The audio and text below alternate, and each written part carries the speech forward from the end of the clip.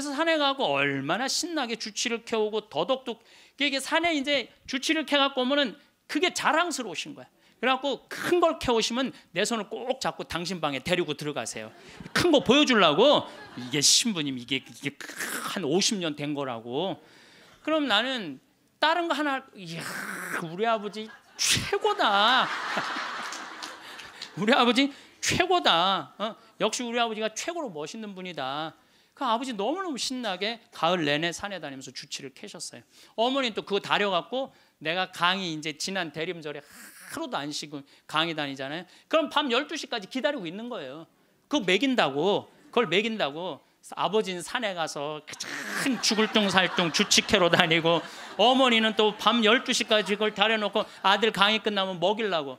근데 저는 한편으로는 늙은 분들을 너무 고생시키는 거 아닌가 이런 생각이 드는 반면 아니다.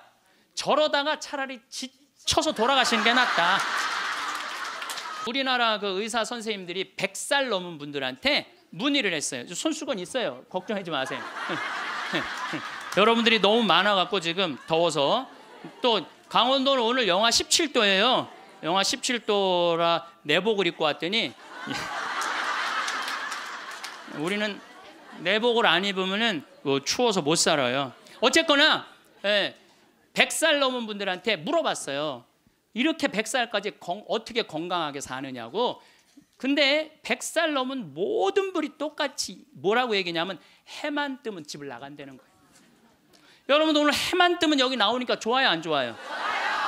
좋잖아. 천주교가 얼마나 할 일이 많아요. 그래서 여러분들 어, 나는 성당 다니는 거 나이 먹어서 참 좋다고 생각해. 성당 다니는 거. 성당 갈 때까지 걸어가요 안 걸어가요? 걸어. 올 때 걸어오고. 그리고 또 우리 천주교가 미사 참여할 때 그냥 놔둬요. 일어나라, 앉아라, 들어와라, 나가라. 얼마나 많이 시켜 미사 때마다. 그리고 여러분들 나이 먹어서요 이렇게 많은 사람들 속에 어우러져 있으면요 자기가 의식이 젊어진대요.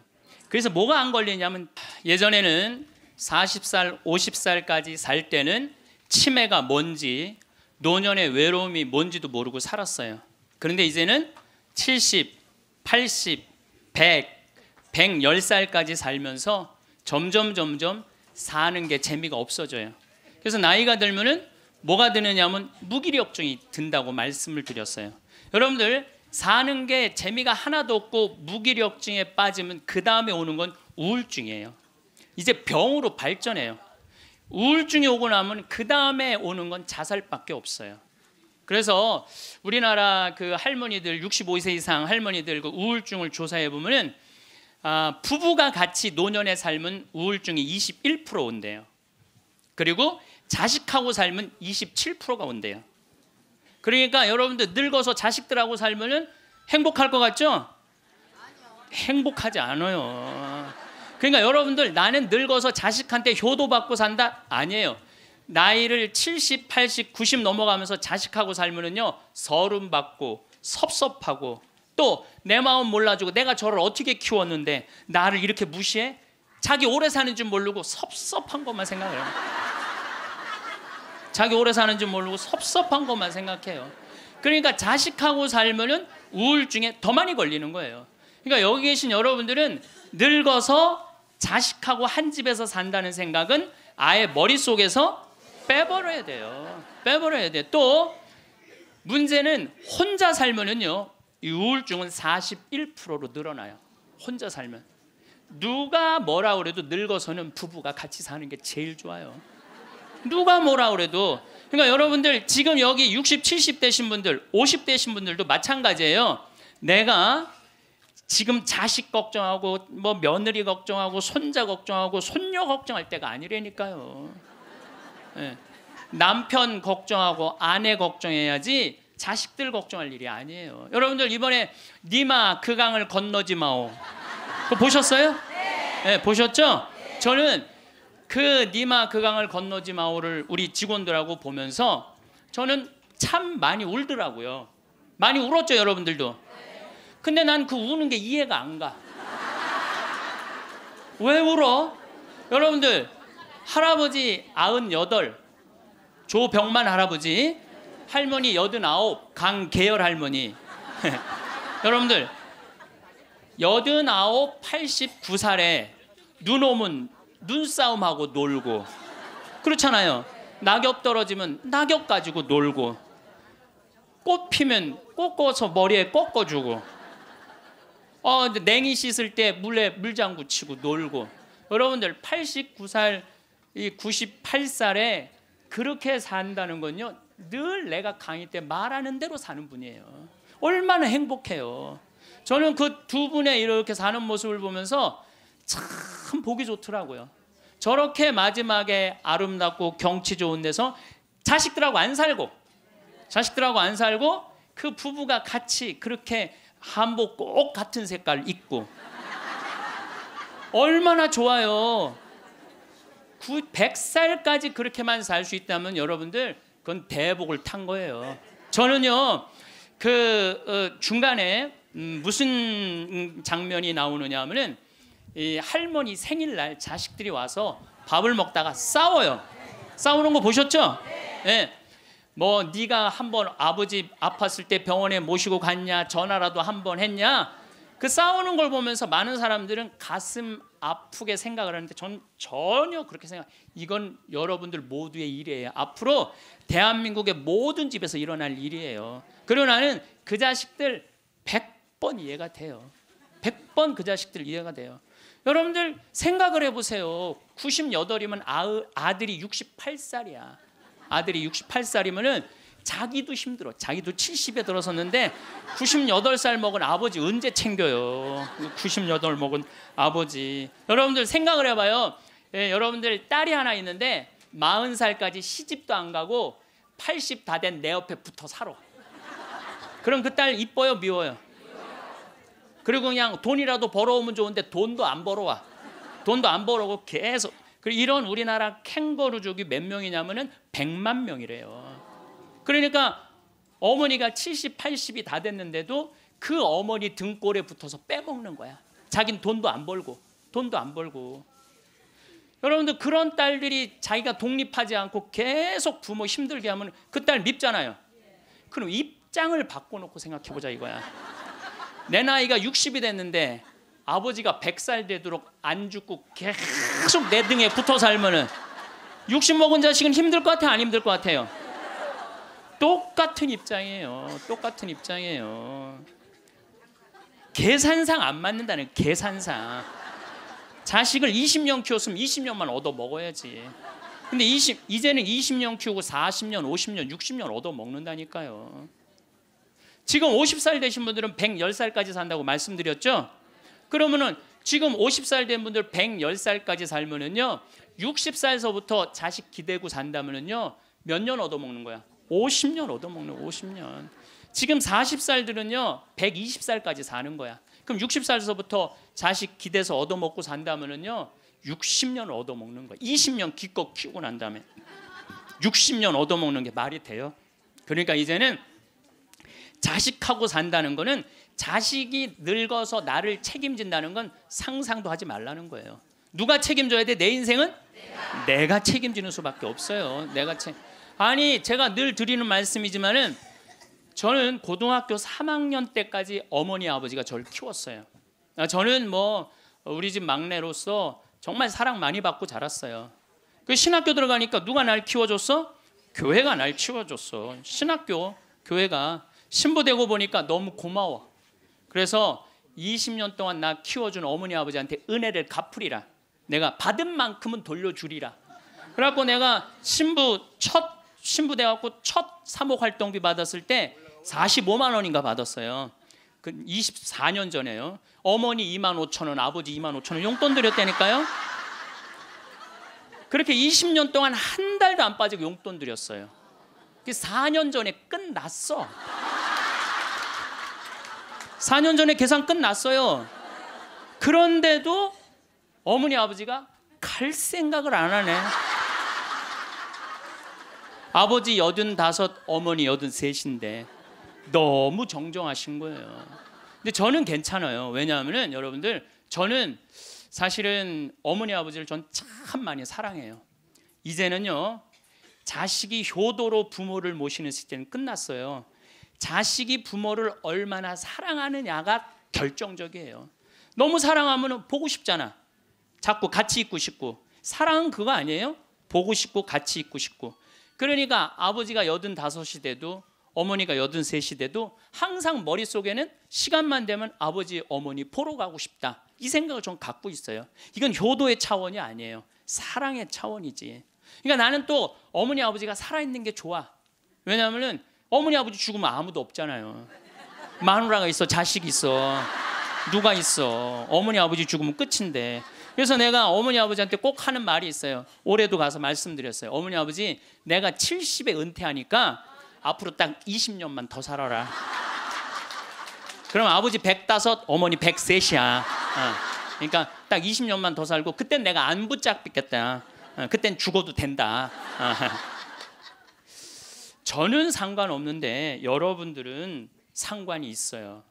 왜 상관이 있느냐면은 70살 된 여러분들, 50, 60살 된 여러분들은 지금 나도 힘들지만 자식 결혼시켜 줘야지. 또 뭐 책임져야 될 게 얼마나 많아. 그런데 늙은 어머니 아버지, 90, 100살 된 어머니 아버지까지 살아 있다면은 이건 너무 힘든 거예요. 너무너무 힘든 거예요.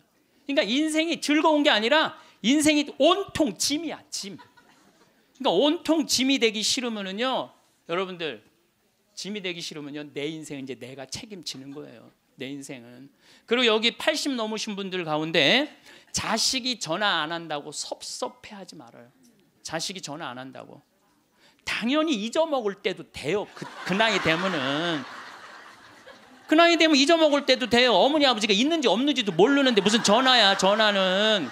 응. 그리고 정 목소리 듣고 싶으면 본인이 하세요. 전화기 째려보고 있지 말고. 1번 누르면 큰아들, 2번 누르면 작은아들 나오는데 그걸 못하고 이놈의 새끼들이 손가락이 없어 발가락이 없어 왜 전화를 안 해? 자기가 하면 되지. 그래서 늙어서는 뭐를 버려야 되냐면 거지 근성을 버려야 돼요. 예. 누가 나한테 해주겠지, 날 찾아와 주겠지 이런 생각 절대 하지 말라는 거예요. 이제 여러분들 어, 그 내 인생을 내가 책임지는 방법은 딱 한 가지밖에 없어요. 자식 학원 끊는 거예요. 자식 학원 끊고 대학 다닌 자식 있으면 휴학 시키고 그리고 결혼은 네가 벌어서 가라 그러는 거예요. 이 대한민국 이 세 가지가 안 되잖아요.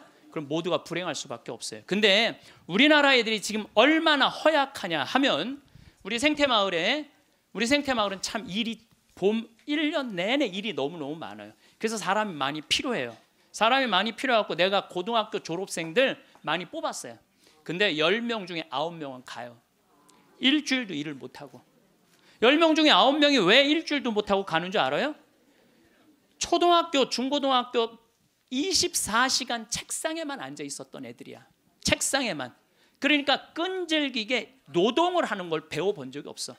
여러분들 유럽 아이들, 미국 아이들은요 이 스포츠를 너무 너무 중요하게 여겨요. 그래서 토요일 날 일요일만 되면은 엄마 아빠들이 애들 운동하는 거 계속 지켜봐요. 그 내가 이번에도 그 미국 쪽에 그 워싱턴 쪽에 강의를 갔는데 그러더라고요. 여기 우리 사회는요 운동을 못하면 사람 대접을 못 받는다는 거예요.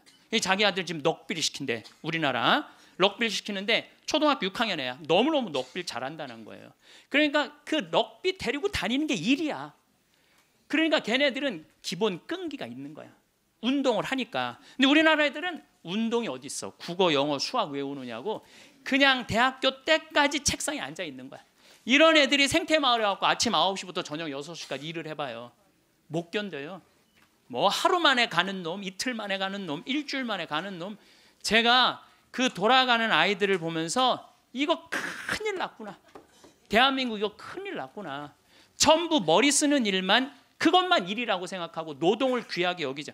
여러분들 노동을 귀하게 여기지 않으면요 그 사회는요 끝나는 수밖에 없어요. 로마가 왜 망했어요? 자기 나라 지키는 용병 다 용병 갖다 써 갖고 망한 거예요.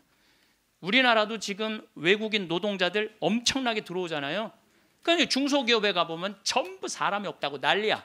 그런데 국가에 보면은 지금 애들 캥거루족이 100만 명에 취직 못하는 애들 2, 300만 명이 넘게 집에서 그냥 노는 거야. 아무 일도 안 하고 엄마 돈 빼먹는 거죠. 엄마 아빠 등골 빼먹는 거예요. 그거는 엄마 아빠의 등골만 빼먹는 게 아니라 80, 90까지 살 엄마 아빠 등골까지 다 빼먹는 거예요. 이게 여러분들 보통 심각한 문제가 아니에요. 대한민국 지금 심각해요. 자식들한테 돈 다 뺏긴 노인들 쓸 돈이 없어서 집 안에만 그냥 박혀 있는 거예요. 예, 공원에 나가 이렇게 장 저기 뭐야 장기 바둑 두는 데 기웃거리다가 집에 들어오는 할머니들 참 많아요. 결국 사는 맛 하나 없이 사는 노인들이 극단적으로 자살이라는 걸 선택할 수밖에 없어요. 여러분들 우리 가톨릭 안에 자살은 구원받을 수 없다고 그러잖아요. 마지막을 자살로 삶을 마감하면 어떻게 해요? 우리나라가 10만 명당 평균 자살 숫자가 31명이에요. 근데 참 재미난 통계가 있어요. 60대는 10만 명당 51명으로 늘어요. 그러니까 나이를 먹으면 먹을수록 더 많이 자살하는 거죠. 70대는 몇 명으로 늘어나냐면 79명으로 늘어나요. 70대는 79명. 80대는 몇 명으로 늘어나냐면 127명으로 늘어요. 80대는. 그러니까 80대가 돈 없지, 자식 안 찾아오지, 병 들었지. 결국은 우울증 걸려서 선택하는 거는 자살밖에 없다는 거예요. 왜 삶을 그렇게 마감하냐 이거예요. 근데 이게 다 여러분들 욕심 때문에 그래요. 욕심 때문에 애들을 망치는 거예요. 여러분들 지금 이 초등학교 학생들이 오늘 굉장히 많이 왔는데 어 굉장히 막 아주 이거 획기적인 일이 지금 벌어졌어요 지금 초등학생들이 쟤네들이요 선행 학습을 학원에 가서 한 번 하고 집에서 숙제하고 그리고 학교 가면은요 선생님이 가르치는 게 재미가 하나도 없대요. 세 번째 공부하니까 세 번째 공 그러니까 선생님이 존경스럽지가 않은 거야. 그래서 쟤네들이 학교 다니는 게 재미가 하나도 없는 거예요. 여러분 학교 다니는 게 재미가 없는 애들이 나중에 어떻게 될 것 같아요? 컴퓨터 게임에 빠지는 거예요. 근데 그게 선행학습이 누구 때문에 벌어지는 거냐? 대한민국의 부모들 때문에 그래요. 내만 1등 시키고 싶은 이 욕심, 이게 대한민국을 병들게 하고 아이들 병들게 하고 그것만에 거기에 학원비 들어가는 건 내 노년의 이 연금을 다 쏟아 붓는 거야. 그래서 마지막에는 자살을 선택할 수밖에 없어요. 대한민국이 건강해지려면요. 제가 농담으로 하는 얘기가 아니에요. 학원 끊고 대학 휴학시키고 어, 지금 저기 집에서 노는 놈들 전부 공장에 취직시켜 갖고 일 시켜야 돼요. 그래야지 대한민국이 건강하게 살아갈. 여러분들도 살 끼고 자식들도 살 길이 그거예요. 여기 어느 외로운 노인의 글이 하나 있는데 참 모든 인생이 다 들어 있어서 제가 여러분들한테 한번 읽어 드릴게요. 3년 전 마누라가 세상을 떠난 뒤 나는 외로움을 견디다 못해 함께 살자는 아들의 청을 받아들였다. 여러분들 지금 할머니 할아버지들 집에서 할머니 할아버지들 보면 많이 싸우죠. 많이 싸우죠. 그게 얼마나 큰 행복인지 몰라. 싸우는 것도 행복이에요. 싸울 남편도 없잖아요. 그럼요. 그거 얼마나 외로운데요. 외로울 수밖에 없어요. 나는 내가 강의 때 핸드폰 울려도 한 번도 신경질을 부린 적이 없어 내가. 나는 아늑하고 편안한 아들네 집에서 학교 간 손자들과 직장에 나간 아들과 며느리가 돌아오는 저녁 때를 기다렸다. 그러니까 자식 집에 들어가서 살아도요 혼자인 거예요. 혼자인 거예요.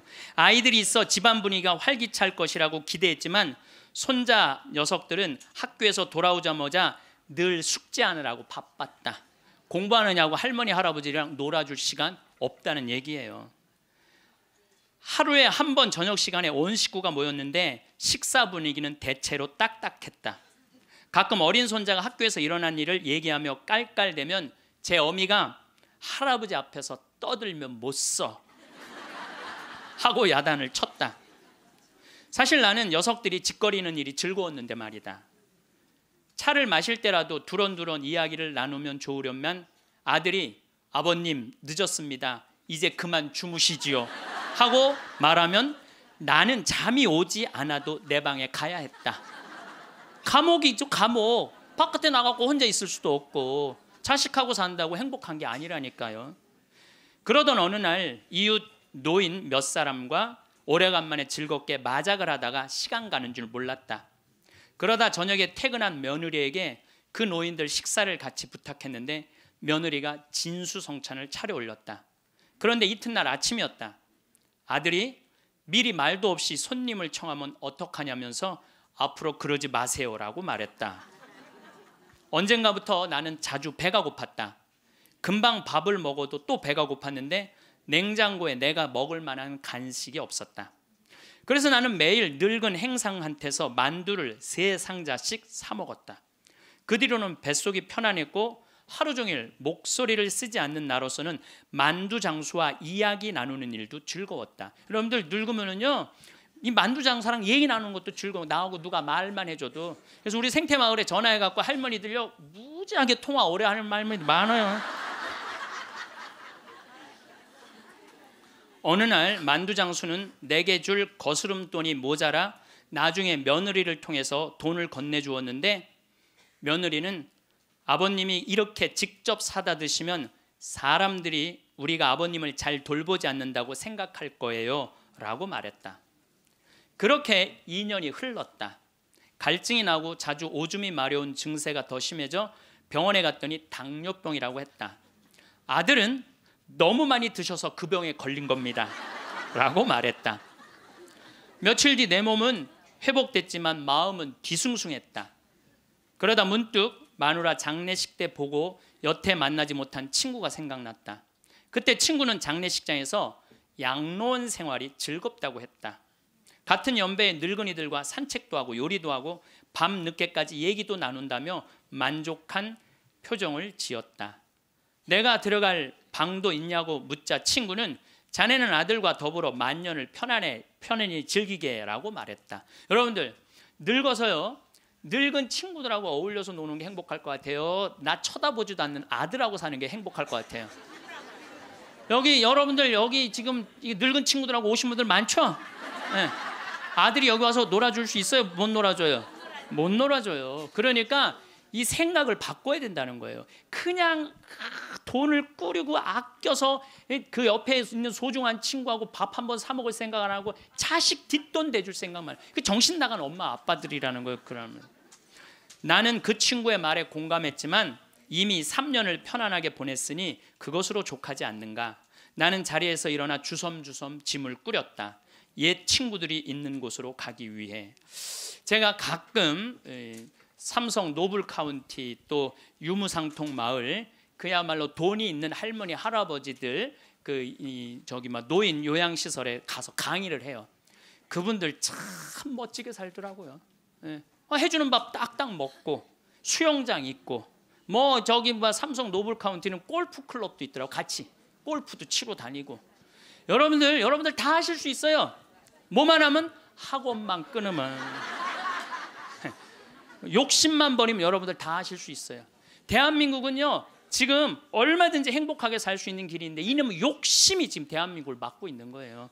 그래서 늙어서 행복하게 살기 위해서는 첫 번째 무조건 집을 나가라. 나이 먹어서 외롭지 않게 사는 방법은 일단 해만 뜨면 집을 나가야 돼요. 그리고 70, 80 넘어갖고 집에 있는 게 아니에요. 일단 나가주는 게 예의라니까. 어? 그냥 70, 80 넘어갖고 이렇게 그냥 하루 종일 그리고 앉아 있으면요 며느리들 힘들어요. 예. 어, 며느리들만 힘들게 아니라 여러분들도 심심해서 죽는다는 거예요. 혼자 있는 고독이라는 게 참 무서워요. 우리나라 독거노인 숫자가 125만 명이나 돼요.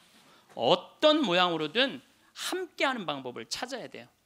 가끔 1박 2일씩 사라져 주는 것도 예의야. 그래서 우리 생태 마을에 예, 오는 것도 예의예요, 예의. 저는 우리 생태 마을에 어, 봄만 되면은 할머니 네 분 다섯 분이요 어울려서 생태 마을에 오셔서 월요일부터 금요일까지 쉬고 가요. 월요일부터 금요일까지 쉬어봤자 13만 원밖에 안 돼요. 아니 여러분들 일주일 동안 내 손으로 밥 안 하고 먹여주지, 재워주지, 찜질방 있지, 산책로 있지, 미사 있지, 강의 있지. 1년에 한두 번 13만 원 위해서 나를 못 써요? 근데 그 할머니들이 이제 몇 년을 오는데 그 할머니 나한테 이구동성을 하는 얘기가 있어요. 신부님, 신부님 말대로 집 잡혀서 이렇게 내가 쓰다 보니까 인생이 너무 즐겁다는 거야. 인생이 너무 즐겁다는 거야. 집 앞에서 쓰다 보니까 인생이 너무너무 즐겁다는 거야. 사는 게 너무 행복하다고 그래요. 요즘 우리 어머니 친구들이 매일 모여서 우리 집에서 먹고 막 춤도 춘대 음악 틀어놓고 춤도 추고. 예. 그리고 또 이, 뭐예요? 니마 그 강을 건너지 마오도 가서 보고 국제시장도 가서 보고 왔는데 평생 영화 안 보러 가시던 분인데 요즘 보러 다녀요. 80세 때 갖고. 근데 어머니가 하시는 말씀이 이제 사는 게 재밌대. 쓰니까 재밌는 거 쓰니까. 여러분들 국제시장에 유일한 내 귀에 들어오는 단어가 딱 하나 있어요 이 한덕수라는 친구가 함흥 일사후퇴에서 오잖아요. 네가 장남이니까 네 책임져지라고 그러니까 어, 이제 자기가 대학도 못 들어가고 파독 광부가 되죠. 예, 그런데 다시 돌아와요. 해양대학에 합격을 해요. 돌아와서 근데 베트남 또 참전을 가요. 동생하고 꽃분이네 가게 그거 구한다고. 예, 근데 그 부인이 한마디 해요. 당신 왜 가족을 위해서만 사느냐고 당신을 위해서도 살으라고 당신을 위해서도 살으라고 그런데도 이 사람은 끝까지 어, 가족을 위해서 마지막까지 살죠. 에, 그 여의도에서 에, 막순이라고 이 함흥에서 놓친 그 이제 미국에 이제 입양돼 갖고 정말 눈물 콧물 다 빼죠. 근데 저는 이런 생각이 들어요. 대한민국에 지금 70, 80대 되신 분들이 이 나라 일으켜 세운 거예요. 이 나라 일으켜 세우고 고생이란 고생은 다 하고 그럼 이제 호강할 때도 됐는데 아직도 뭐가 몸에 뱉냐면 나 같은 게 무슨 호강이야 이런 생각을 하는 분들이 너무 많아요. 그래서 여러분들 제발 집을 나가세요. 네, 네. 집을 무조건 나가야 돼요. 집을 집을 나가야지 집 안에 있으면 안 돼. 그래서 월요일 날은 월요일 날은 경북궁 쉬죠. 화요일 날은 경북궁, 수요일 날은 덕수궁, 목요일 날은 창덕궁, 예, 금요일 날은 국립박물관, 예, 토요일 날은 온양온천, 천철 공짜냐 온양온천 갔다 오고, 예, 일요일 날은 춘천 갔다 오고, 그렇게 계속 돌아다니는 거예요. 계속 돈 하나도 안 들어요. 다 무료 입장이야. 다 무료 입장. 내가 말하는 데는 다 무료 입장이야. 그렇게 계속 돌아다니다 보면은요 죽을 때 어떻게 죽는다고 지쳐서 죽는다니까 지쳐서 죽을 때 지쳐서 죽어야 돼 네. 네. 미국에서는 할머니 할아버지들 사진을 찍어놔요 사진을 찍어놓고 3개월 동안 뭐를 시키느냐 하면은 3개월 동안 뭐를 시키느냐 하면은 운동을 시켜요 헬스도 하게 하고 그 다음에 파티도 하게 하고 럭비도 하게 하고 그렇게 3개월 동안 그 3개월 후에 다시 사진을 찍어요. 그랬더니 3개월 전에 찍은 사진보다 3개월 후에 찍은 사진이 훨씬 젊게 보이더라 이거예요. 사람은요 어떤 마음을 가지고 사느냐에 따라서 생김새도 달라진다는 거예요. 나는 늙었어. 난 이제 죽을 거야. 죽을 날만 계속 기다리고 있잖아요. 그러면 그냥 죽는 거예요. 그 우리나라 그 의사 선생님들이 100살 넘은 분들한테 문의를 했어요. 손수건 있어요. 걱정하지 마세요. 여러분들이 너무 많아갖고 지금 더워서 또 강원도는 오늘 영하 17도예요. 영하 17도라 내복을 입고 왔더니 우리는 내복을 안 입으면은 뭐 추워서 못 살아요. 어쨌거나 예, 100살 넘은 분들한테 물어봤어요. 이렇게 100살까지 어떻게 건강하게 사느냐고 근데 100살 넘은 모든 분이 똑같이 뭐라고 얘기냐면 해만 뜨면 집을 나간다는 거예요. 여러분 오늘 해만 뜨면 여기 나오니까 좋아요 안 좋아요? 좋잖아. 천주교가 얼마나 할 일이 많아요. 그래서 여러분들 어, 나는 성당 다니는 거 나이 먹어서 참 좋다고 생각해. 성당 다니는 거. 성당 갈 때까지 걸어가요 안 걸어가요? 걸어. 올 때 걸어오고 그리고 또 우리 천주교가 미사 참여할 때 그냥 놔둬요. 일어나라, 앉아라, 들어와라, 나가라. 얼마나 많이 시켜 미사 때마다. 그리고 여러분들 나이 먹어서요 이렇게 많은 사람들 속에 어우러져 있으면은요 자기가 의식이 젊어진대요. 그래서 뭐가 안 걸리냐면 치매가 안 걸리는 거예요. 치매가. 그래서 레주하는 할머니들, 레주하는 할머니들이 되게 자다가 돌아가신대 많이. 끝까지 활동한다가 지쳐서 죽는 거 지쳐서. 왜 좋아하는 할머니들이. 끝까지 활동하다가 지쳐서 죽는 거 지쳐서. 예. 그러니까 여러분들 성당 다니는 거 참 좋은 거예요. 그리고 제가 권하는 거는 무, 무기력증에 빠지지 않기 위해서 가장 중요한 거 운동하는 거예요. 헬스 자전거 타는 거. 헬스 자전거 꼭 타세요. 허벅지에 근육이 풀리잖아요. 그때부터 누워서 똥오줌 싸는 거예요. 여러분들 누워서 똥오줌 싸는 사람들 많이 보셨어요? 아마 내가 제일 많이 봤을 거야. 누워서 똥오줌. 왜냐면 환자 봉송체 나가니까. 그러면요.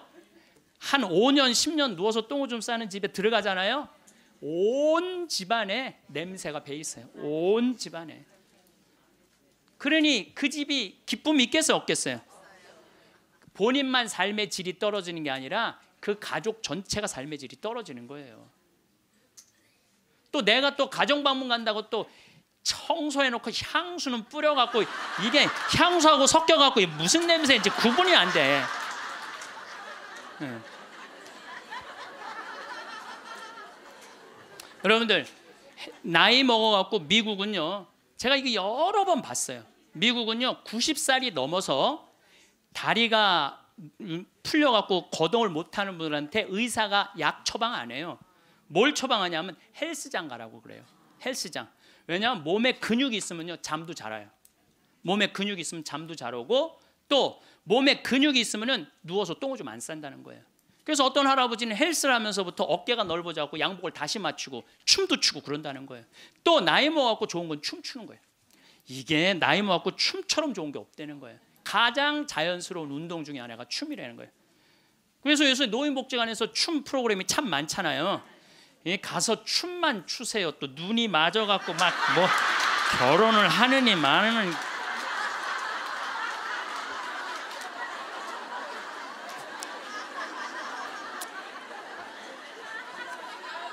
돈 쓰는 거 아깝다고 72%에 돈 쓰는 거 아깝다고 72%의 할머니 할아버지들이 아무것도 안 해서 집에만 있는다는 거야. 우리나라에 지금 72%의 할머니 할아버지들이 돈 쓰는 거 무, 무섭고 아깝다고 아무것도 안 하고 집에서 있는다는 거예요. 그런데 이 중에 45%는 극빈자예요. 극빈자라고 그러는 거는 정말 어려운 분들이 우리나라 OECD 국가 중에 노인 가장 가난한 나라가 우리나라예요. 이것도 참 슬픈 일이에요. 왜냐하면 우리나라가 정말 잘 사는 나라거든요. 여러분들 우리나라 잘 사는 나라인지 모르세요? 알죠? 잘 살아요. 이번에도 뭐 1조 1000억 달러를 달성하고 무역 흑자 500억 달러가 넘는 나라예요. 그런데 노인들은 OECD 국가 중에 가장 가난해. 이게 참 슬픈 일이에요. 근데 어쨌든 45%는 정말 쓸 돈이 없는 할머니 할아버지들이에요. 그런데 나머지 27%는 돈 쓰는 게 아까워서 못 쓰는 분들이에요. 27%는 아, 여러분들이 여가 활동도 하지 않고 27%의 할머니들 아무것도 안 하면 이 할머니들이 뭐 하는 거냐면 나중에 누워서 똥을 좀 싸는 거예요. 여러분들 이 돈 간병인 병원비로 다 씁니다. 안 쓰는 거.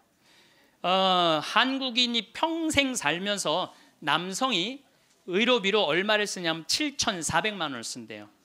여성이 몇 퍼센트를 쓰냐면 8,700만 원을 쓴대. 여성이. 그러니까 여자들이 남자보다 1,300만 원을 더 쓰는 거예요. 그런데 왜 더 쓰느냐 하면은 오래 살아서 오래 살아서 더 쓰는 거야. 똑똑하시네. 네. 오래 살아서 더 쓰는 거예요. 그런데 4,300만 원, 65세 이상이 8,700만 원 중에 4,300만 원을 65세 이상 쓴다는 거예요. 그러니까 늙어서 병원비를 다 쓰는 거야. 늙어서 병원비를 다 쓰는 거야. 이 돈 내가 보긴 이돈 4,300만 원 가지고 수영장 다니고 헬스장 다니고 놀러 다니는 대로 쓰고 그런 분들 돌아가실 때 그냥 지쳐서 죽는 거예요. 그런 분들이 제 생각에는 여러분들 운동 어, 헬스장 요즘 7만 원 내지 8만 원 해요. 그럼 그 헬스장만 다녀도요 50년 다닐 수 있어요. 50년. 병원비 다른 거 말고 여러분들이 쓰는 병원비를 가지고만 해도 50년 헬스장 다닐 수 있어요. 자, 이제 헬스장 얘기를 좀 할게요. 제가 왜 헬스장을 굉장히 중요하게 여기느냐 하면은 나이를 먹어서는요. 근력 운동을 해야 돼요. 40살이 넘어서부터 몸에서 1%씩 근육이 빠져나가요. 1%씩 근육이 빠져나가면은 80살 되면 거의 다 다 빠져나가는 거예요. 그럼 뭐만 남어? 뼈만 남는 거예요. 뼈만 남으면 그다음 뭐 하는 거야? 눕는 거예요. 그래서 그 근육을 보충해 주려면 고기도 일주일에 한 번은 먹어야 되고 또 헬스장. 자, 신부님 저 돈이 하나도 없어요. 신부님은 맨날 돈 있는 사람 얘기만 해요. 여러분들 우리 평창은요. 평창 종합운동장에 건강 증진 센터가 있는데 헬스장이 있는데 무료예요. 무료. 이게 우리 평창만 무료가 아니라 여러분들 주위에 무료 헬스장 널려 있어요. 널려 있어요. 그러면은 아침에 나가 갖고 헬스장에 헬스장 가면은요 젊은 사람도 구경할 수 있고 내 몸에 맞게만 하면은요 한 시간 두 시간 얼마든지 시간 보낼 수 있어요. 그 옆에 목욕탕 딸려 있으면 목욕탕. 그리고 저녁에 집에 들어오면은요 자지 말라 그래도 쓰러져서 자요. 예, 자지 말라 그래도 쓰러져서 자요. 근데 문제는 뭐냐면은 할머니들 중에 이런 분들이 신부님 나이를 먹으니까 잠이 안 와. 잠이 안 와. 이런 분들은 왜 잠이 안 오냐면 하루 종일 소파에 앉아 갖고 에, 여러분들 에, 누워서 똥 오줌 싸는 아버지를 모시면서 어떤 분이 일기를 썼어요. 극히 일부만 제가 옮겨놓을게요. 그이참 내용이 참 가슴이 참 짠해요. 이 더 기가 막힌 내용도 있는데 내가 이 방송이라 정말로 이 정말 우리들이 들을 만한 객관적인 내용만 쓴 거예요. 어제는 불효를 했다. 기저귀 찬 채로 거실로 나가려는 아버지와 어머니의 신랑이가 벌어지고 급기야는 누워서 발길질하는 아버지의 폭력으로부터 어머니가 먼저 돌아가실 지경에 이르렀다. 여러분들 마지막에 똥오줌 싸고 이런 분들 치매에 걸린 분들은요 막 뱀이 막 기어간대요. 천장에 뱀이 기어가고 천장이 막 무너지는 것 같고 극도의 공포에 사로잡힌대요. 그러니까 치매 걸리는 게 진짜 똥오줌 싸는 것보다 더 무서운 게 뭐예요? 치매 걸리는 거예요. 근데 진짜 무서운 건 치매에 걸려갖고 똥오줌 싸는 거예요. 네, 치매에 걸려갖고 그리고 집 나가 집 나가갖고 치매 걸리는 부모님 잃어버리면은 자식들이 또 얼마나 애가 타요. 그리고 막 짓기 다 망가뜨려 놓고 참 이런 못할 짓을 이게 이유가 딱 한 가지라니까요. 안 죽어서 생기는 일이에요. 안 죽어서. 자 여기 그러니까 이 할아버지가 이제 할머니를 막 때렸나 봐요. 밤이면 더욱 기승을 부리는 망령. 이미 아버지의 영혼의 절반은 잡기에게 농락당하는 처지에 이른 것이니 이 집안을 어찌할꼬. 부처님께 3배 후 불교 신자예요. 부처님께 3배 후 죽비를 들어 아버지 양쪽 발바닥을 호되게 내리쳤다. 여러분들 늙으면 자식이 부모 때린다는 얘기 많이 들었죠? 때릴 수밖에 없대요. 때릴 수밖에 없대요. 때려야지 컨트롤이 되니까. 하늘은 어찌 나를 이토록 침통하게 만드는 것일까? 아버지가 돌아가셨다. 염을 할 때 무릎 꿇고 용서를 빌었다. 잘못했습니다. 용서해 주세요.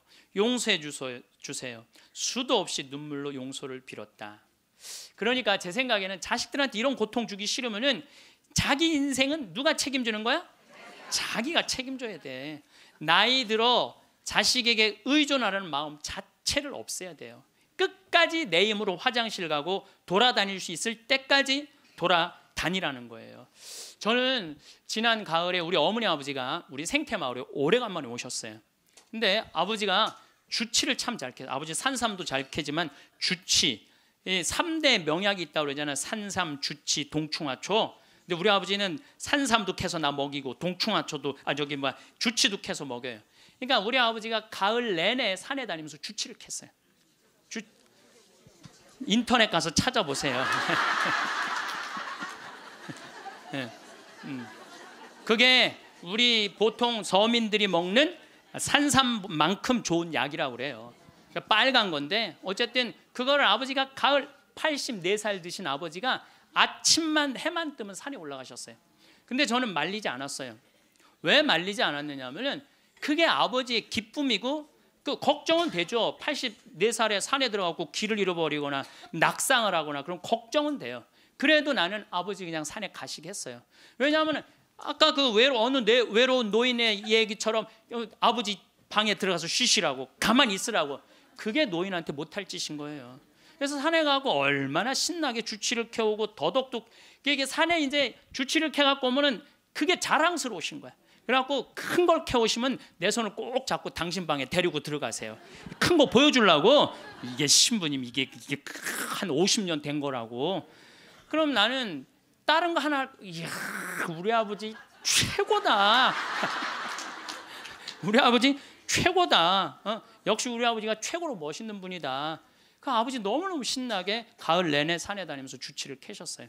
어머니는 또 그거 다려갖고 내가 강의 이제 지난 대림절에 하루도 안 쉬고 강의 다니잖아요. 그럼 밤 12시까지 기다리고 있는 거예요.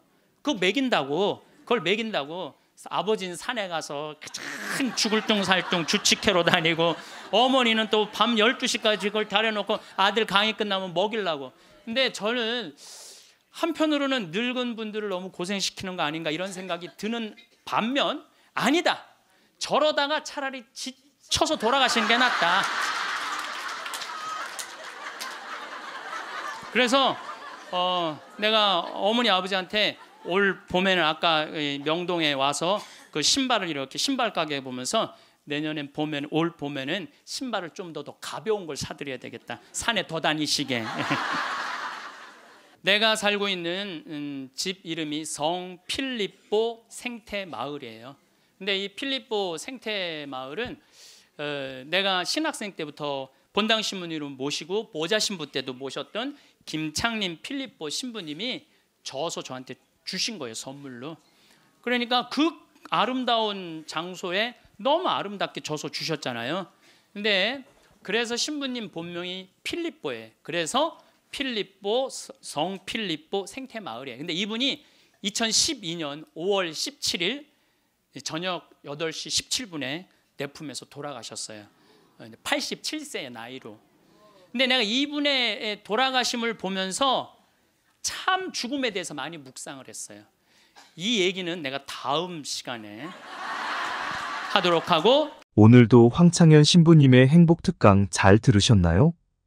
이어서 나이 들수록 들으면 도움이 되는 지혜의 말씀을 들려드리겠습니다. 혹시 지금 어떠한 것에 매달리고 있지는 않으신가요? 좋은 집에 살아야 한다. 좋은 차를 타야 한다든지 말입니다. 뿐만 아니라 형제자매나 자식들에게 매달리는 분들도 계시겠죠. 이러한 집착의 마음은 우리의 몸과 마음을 괴롭게 합니다. 좋은 것을 놓아버려라. 세상을 볼 때 우리는 거의 자동적으로 좋거나 싫다고 분별하곤 한다. 모든 사물이 좋거나 싫고 모든 문제가 옳거나 그르다. 세상을 대할 때 우리는 왜 습관적으로 좋거나 싫은 어느 한쪽을 택해야 하는 것일까? 왜 좋거나 싫다는 판단을 버리고 그저 그 현실을, 그 상황을, 그 사람을, 그 문제를 다만 묵묵히 지켜볼 수는 없는 것일까? 좋고 싫은 양극단은 둘 다 괴롭다. 좋다고 판단하면 집착이 생겨 괴롭고, 싫다고 판단하면 증오가 생겨 또한 괴롭다.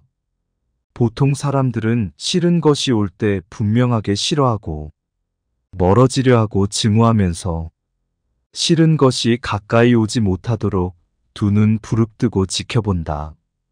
싫은 것은 죽어도 싫기 때문에 그것들이 범접하지 못하도록 주의 깊게 살펴보는 것이다. 그러나 좋은 것에 대해서는 전혀 주의를 기울이지 않는다. 좋은 것에 대해서는 완전히 무방비 상태다. 사실 싫은 것보다 더 주의를 기울이고 관심을 가져야 할 것이 바로 좋은 것이다. 경전의 말씀처럼 좋은 것에서 슬픔이 생기고 근심이 생기며 속박이 생겨나기 때문이다. 싫은 것에서 생기는 미움은 오히려 비워내기 쉽지만 좋은 것에서 오는 애착과 근심과 속박은 우리를 꽁꽁 올가맨다. 내가 좋아하는 것에 대한 애착과 집착이야말로 우리가 비워내고 또 비워내려 애를 써도 도무지 비워지지 않는 마지막 결박이다.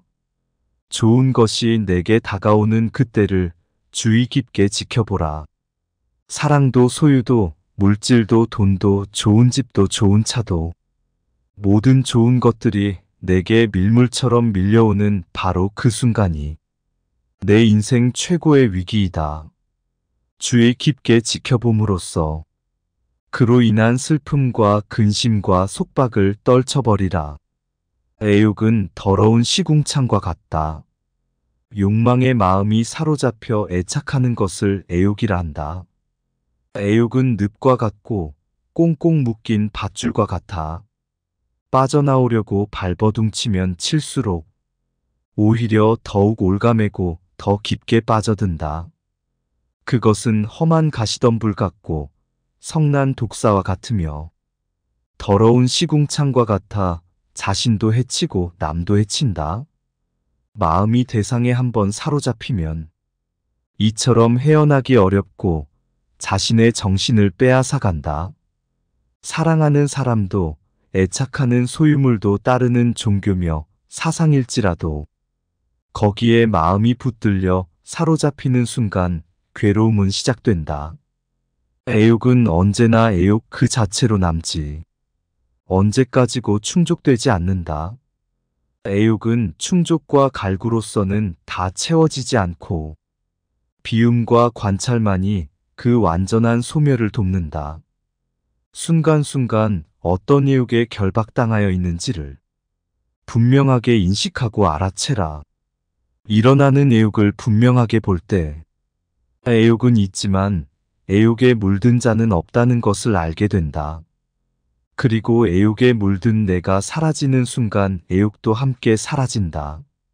내가 애욕에 빠지는 것이 아니라 다만 어떤 중립적인 현상이 일어나고 사라질 뿐이다. 그 현상을 애욕이라거나 집착이라고 이름 짓지도 말고 다만 살펴보라. 내가 한다고 착각하여 사로잡히는 순간 애욕은 늪과 같고 칼날과 같고 더러운 시궁창과 같이 나를 사로잡아 꽁꽁 올가매고 만다. 애욕에 사로잡히는 자가 되지 말고 다만 지켜보는 자가 되라. 정착하지 말고 여행하라. 자신의 소유가 아닌 것은 집착하지 말고 다 버려라.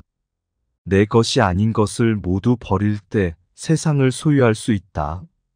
만약 어떤 이가 뒷동산에 있는 나뭇잎을 가지고 간다고 했을 때 왜 나뭇잎을 가졌느냐고. 그와 싸우겠는가 수행하는 사람들도 그와 같아서 자기 소유가 아닌 물건에 대하여 애착을 버려야 할 것이니 버릴 것을 버릴 수 있어야 마음이 평온하다. 본래부터 내 것이 어디에 있는가. 나라는 존재 또한 잠시 인연 따라왔다가 인연 따라가는 무상한 존재인데 하물며 내 것이라고 붙잡아 두고 집착할 것이 무엇이겠는가. 뒷동산에 나뭇잎이 어찌 내 것일 수가 있으며 땅에 금을 그어놓고 돈을 지불한다고 어찌 내 땅일 수가 있겠는가. 그것은 인간의 오만한 생각일 뿐이다. 이 세상에 내가 영원히 가질 수 있는 것은 어디에도 없다. 그렇다고 일체의 모든 소유를 다 버리고 완전한 거지가 되라는 말은 아니다. 인연 따라 자연스럽게 나에게로 온 것까지 억지로 다 버릴 필요는 없다.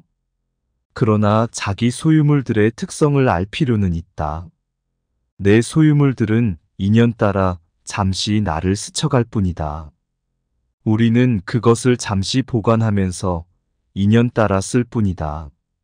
잠시 스쳐가는 것들을 스쳐가지 못하게 나라는 틀 속에 가두게 되면 나를 중심으로 우주적인 에너지는 정체되고 만다. 세상 모든 것들은 끊임없이 변화하면서 이 끝없는 우주를 여행하는 임무를 부여받았다.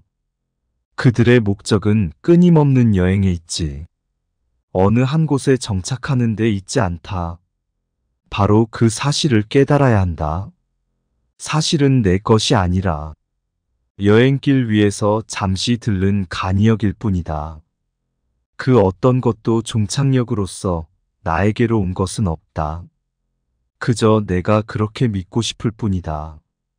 그러니 내 것을 다른 사람에게 보시했다 하더라도 사실은 보시가 아니라 그저 가야 할 곳에 갔을 뿐인 것이다.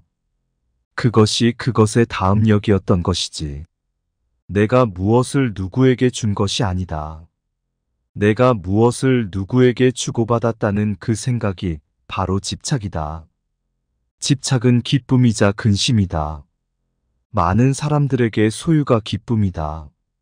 집착하는 것을 얻었을 때 하늘을 날아갈 듯 기쁘다. 아마도 죽을 때까지 내 것이라는 소유를 늘리는 것이 모든 사람들의 공통된 삶의 과제일 것이다. 자녀가 있으면 자녀로 인해 기쁘고, 돈이 있으면 돈 때문에 기쁘고, 차가 있으면 차로 인해 기쁘다. 그러나 이 모든 소유에서 오는 기쁨은 영원하지 않으며 근원적이지 않다. 언젠가 소유물은 없어지고 만다. 소유한 것이 소멸되었을 때 그에 따른 괴로움이 동반된다. 그러나 소유하더라도 소유에 대한 집착이 없을 때 그때 참된 기쁨은 언제나 그 자리에 있다.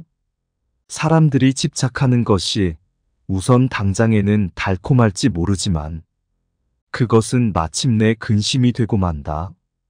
집착으로서 소유로서 행복을 찾고자 한다면 그것은 그 이면의 행복의 크기만 한 불행의 씨앗을 키우고 있는 것에 불과하다.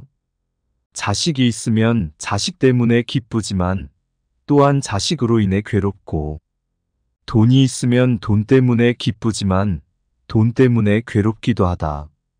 모든 소유의 기쁨은 곧 괴로움으로 바뀐다. 이것은 영원한 진리이다. 세상의 모든 집착을 놓으라. 소유하고 있으면서도 그 소유물에 집착하지 말라. 집착 없이 소유한다면 세상을 다 소유해도 상관없다. 언젠가 소멸되었을 때 마음에 아무런 파장이 없을 것이기에 집착이 없으면 근심도 없다. 자식도 재산도 내 것이 아니다. 내 자식이다, 내 재산이다, 내 생각이다, 내 것이다 하는 것은 다 어리석은 생각이다. 나도 내가 아닌데 내 몸도 이번 한생 잠시 쓰고 나면 우주 법계로 돌려줘야 하는데 하물며 내 소유를 어찌 내 것이라고 할 수 있겠는가. 잠시 빌렸을 뿐이다. 내 몸도 우주 법계에서 잠시 빌어다 쓰는 것이고 내 소유도 잠시 법계에서 빌어다 쓸 뿐이다. 그러니 집착할 것이 없다. 내 몸도 이 우주에서 품어낸 온갖 음식을 잠시 빌려 유지하고 있을 뿐이고, 내 생각도 이 세상의 수많은 생각들을 인연 따라 잠시 채용하여 내 식대로 조합해 쓰고 있을 뿐이며, 내 자식도 우주적인 법계 인연과 업의 법칙에 따라 잠깐 부모의 몸을 빌어 나왔을 뿐이다. 세상 모든 것들이 이처럼 다른 모든 존재들에 의지하여 다만 잠시 그 모습을 취하고 있을 뿐이다. 세상 모든 존재는 우주의 것이며 다른 모든 존재들의 것이다. 내가 곧 이 우주이며 또한 나는 이 우주의 모든 존재들과 긴밀하게 연결되어 있다. 그러니 어찌 내가 누구를 가지고 내가 무엇을 집착하고 누가 무엇을 소유할 수 있겠는가? 온 우주는 전체가 전체에 의해 존재하며 전체가 전체에 의해 소유되고 있는 것이다. 그런 신성한 우주적인 것에 내 것이라는 울타리를 치면서부터 우리는 우주로부터 진리로부터 외면받고 있다. 내 것이란 울타리를 걷어내면 모든 것이 그대로 있을 곳에 있고 제자리를 찾는다. 한 생각 일으켜 내 것을 만들면 세계가 나뉘어 시끄럽지만 한 생각 놓아 내 것을 걷어내면 세계도 나도 나뉘지 않아 고요하다. 욕심같이 더럽고 추하며 허망하고 위험한 것은 없다. 그러나 욕심같이 겉포장이 잘 되어 있는 것도 없다. 욕심은 예리한 칼날 위에 묻어 있는 꿀과 같아. 잠시 달콤할지 모르지만 혀를 베는 결과를 낳고 화장실에 칠해진 단청과 같아. 겉만 화려하나 속은 더럽고 추하여 냄새가 난다. 그러나 세상 사람들은 욕심의 구린 냄새를 알지 못하고 화려하게 포장된 겉모습에만 빠져든다.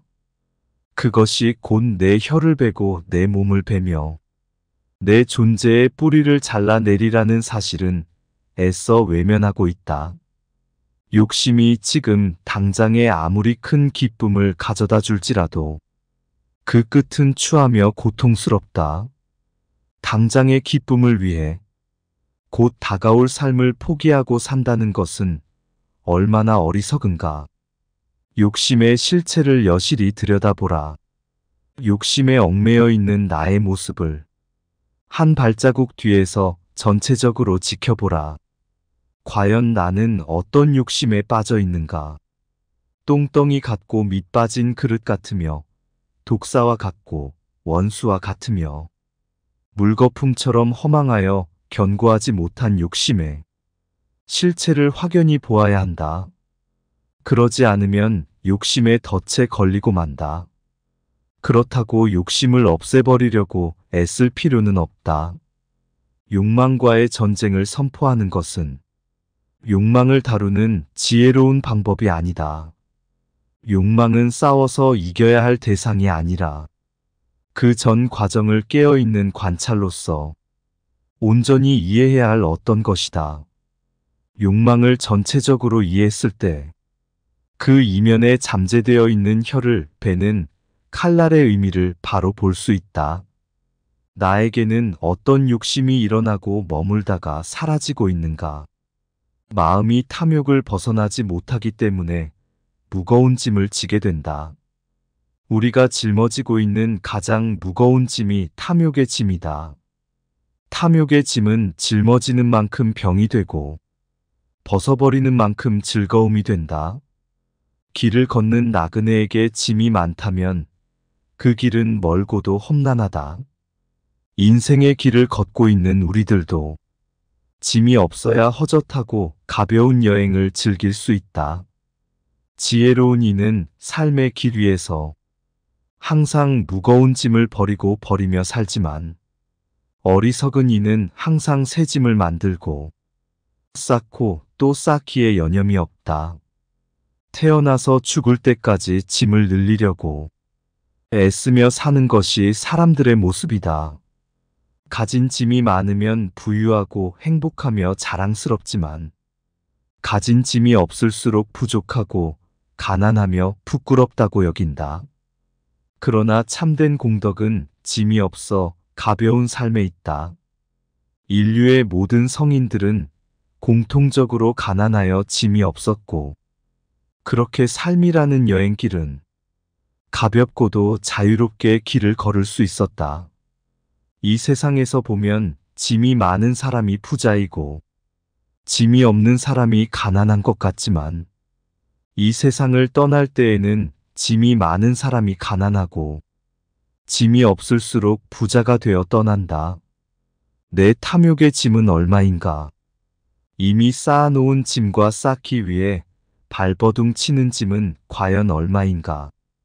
그 모든 짐을 내려놓고 홀가분하게 가라. 즐거움은 곧 고통이다. 탐욕은 괴로움이다. 탐욕을 채우는 데에서 오는 즐거움 또한 결국 고통이 되고 만다. 탐욕을 채우려고 하면 할수록 더욱 더 탐욕은 커진다. 만족은 잠시일 뿐 이윽고 또 다른 탐욕이 생겨난다. 우리의 삶을 가만히 살펴보면 죽을 때까지 오직 탐욕을 채우기에만 여념이 없지 않은가. 많은 이들이 탐욕을 채웠을 때 오는 잠시 행복이 참된 행복인 줄 착각하고 산다. 탐욕을 채우기 위해 온갖 악행과 기만을 서슴지 않고 수단과 방법을 가리지 않고 탐욕을 채워나간다. 나의 탐욕을 채우기 위해 상대방을 짓누르고 밟고 일어서는 것은 당연한 일이 된다. 아니, 당연한 정도가 아니라 능력 있고 훌륭한 사람으로 인정받는다. 그래서 슬프다. 이 세상도 슬프고 탐욕에 물든 사람들도 슬프다.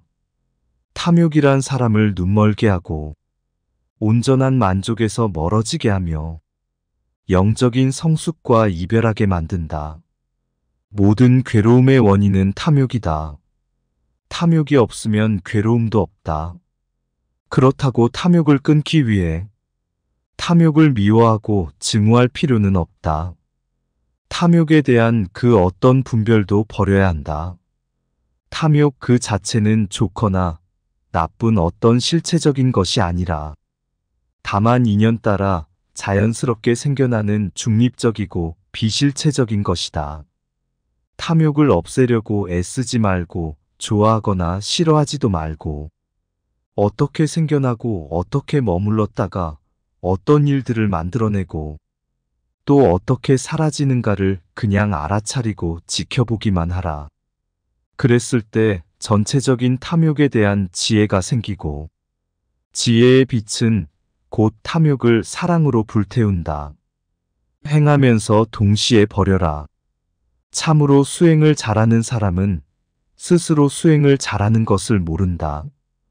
국자가 국맛을 모르듯 산정에 든 사람은 산정에 든 것을 잊으며 적정에 든 사람은 적정에 든 것을 모른다. 스스로 수행을 잘하고 있다는 상이 생기고 깊은 선정에 들었다는 생각이 있으며 스스로 깨달았다는 상이 생기면 거기에 집착이 생기고 집착이 생기면 모든 것은 다시 원점으로 돌아간다. 참된 수행자는 하대함이 없이 행하느니다. 응무소주 이승기심 마땅히 머무는 바 없이 마음을 내는 것이야말로 이 공부의 핵심이다. 참된 진리는 그 진리 자체에도 집착하지 않고 참된 선정은 그 선정에 집착하지 않는다. 자신의 수행력을, 포교력을, 많은 공부에 이력을 들추면서 자랑 삼아 말하는 이들은 자신의 어리석음을 드러내고 있을 뿐이다. 삶을 살아가면서 수많은 선행을 하고 보시를 하고 수행을 하고 좋은 일을 하지만 그 모든 것을 하고 나서는 반드시 잊어버려라. 놓아버려라. 놓아버리는 순간 그것은 보석처럼 빛나지만 드러내는 순간 그 빛은 사라지고 만다. 주위의 소중한 분들에게도 공유해 주시면 좋을 것 같습니다. 한 번 더 들으시면 가슴에 더욱 새겨질 것입니다. 반복 재생합니다. 예전에는 40살, 50살까지 살 때는 치매가 뭔지, 노년의 외로움이 뭔지도 모르고 살았어요. 그런데 이제는 70, 80, 100, 110살까지 살면서 점점 점점 사는 게 재미가 없어져요. 그래서 나이가 들면은 뭐가 드느냐면 무기력증이 든다고 말씀을 드렸어요. 여러분들 사는 게 재미가 하나도 없고 무기력증에 빠지면 그 다음에 오는 건 우울증이에요. 이제 병으로 발전해요. 우울증이 오고 나면 그 다음에 오는 건 자살밖에 없어요. 그래서 우리나라 그 할머니들 65세 이상 할머니들 그 우울증을 조사해 보면은 아, 부부가 같이 노년에 살면 우울증이 21% 온대요. 그리고 자식하고 살면 27%가 온대요. 그러니까 여러분들 늙어서 자식들하고 살면은 행복할 것 같죠? 행복하지 않아요. 그러니까 여러분들 나는 늙어서 자식한테 효도받고 산다? 아니에요. 나이를 70, 80, 90 넘어가면서 자식하고 살면은요 서름 받고 섭섭하고 또 내 마음 몰라주고 내가 저를 어떻게 키웠는데 나를 이렇게 무시해? 자기 오래 사는 줄 모르고 섭섭한 것만 생각해요. 자기 오래 사는 줄 모르고 섭섭한 것만 생각해요. 그러니까 자식하고 살면은 우울증에 더 많이 걸리는 거예요. 그러니까 여기 계신 여러분들은 늙어서 자식하고 한 집에서 산다는 생각은 아예 머릿속에서 빼버려야 돼요. 빼버려야 돼. 또 문제는 혼자 살면은요. 이 우울증은 41%로 늘어나요. 혼자 살면 누가 뭐라 그래도 늙어서는 부부가 같이 사는 게 제일 좋아요. 누가 뭐라 그래도 그러니까 여러분들 지금 여기 60, 70 되신 분들, 50 되신 분들도 마찬가지예요. 내가 지금 자식 걱정하고 뭐 며느리 걱정하고 손자 걱정하고 손녀 걱정할 때가 아니라니까요. 예. 남편 걱정하고 아내 걱정해야지 자식들 걱정할 일이 아니에요. 여러분들 이번에 니마 그 강을 건너지 마오. 그거 보셨어요? 네. 보셨죠? 저는 그 니마 그 강을 건너지 마오를 우리 직원들하고 보면서 저는 참 많이 울더라고요. 많이 울었죠, 여러분들도. 근데 난 그 우는 게 이해가 안 가. 왜 울어? 여러분들 할아버지 아흔여덟 조병만 할아버지 할머니 여든아홉 강계열 할머니. 여러분들 여든아홉 팔십구 살에 눈 오면 눈싸움하고 놀고. 그렇잖아요. 낙엽 떨어지면 낙엽 가지고 놀고. 꽃 피면 꺾어서 머리에 꺾어주고. 어, 냉이 씻을 때 물에 물장구 치고 놀고. 여러분들 89살 이 98살에 그렇게 산다는 건요 늘 내가 강의 때 말하는 대로 사는 분이에요. 얼마나 행복해요. 저는 그 두 분의 이렇게 사는 모습을 보면서 참 보기 좋더라고요.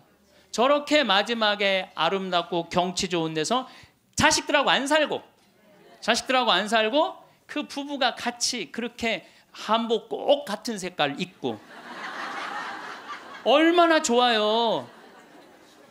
100살까지 그렇게만 살 수 있다면 여러분들 그건 대복을 탄 거예요. 저는요 그 어, 중간에 음, 무슨 장면이 나오느냐 하면은 이 할머니 생일날 자식들이 와서 밥을 먹다가 싸워요.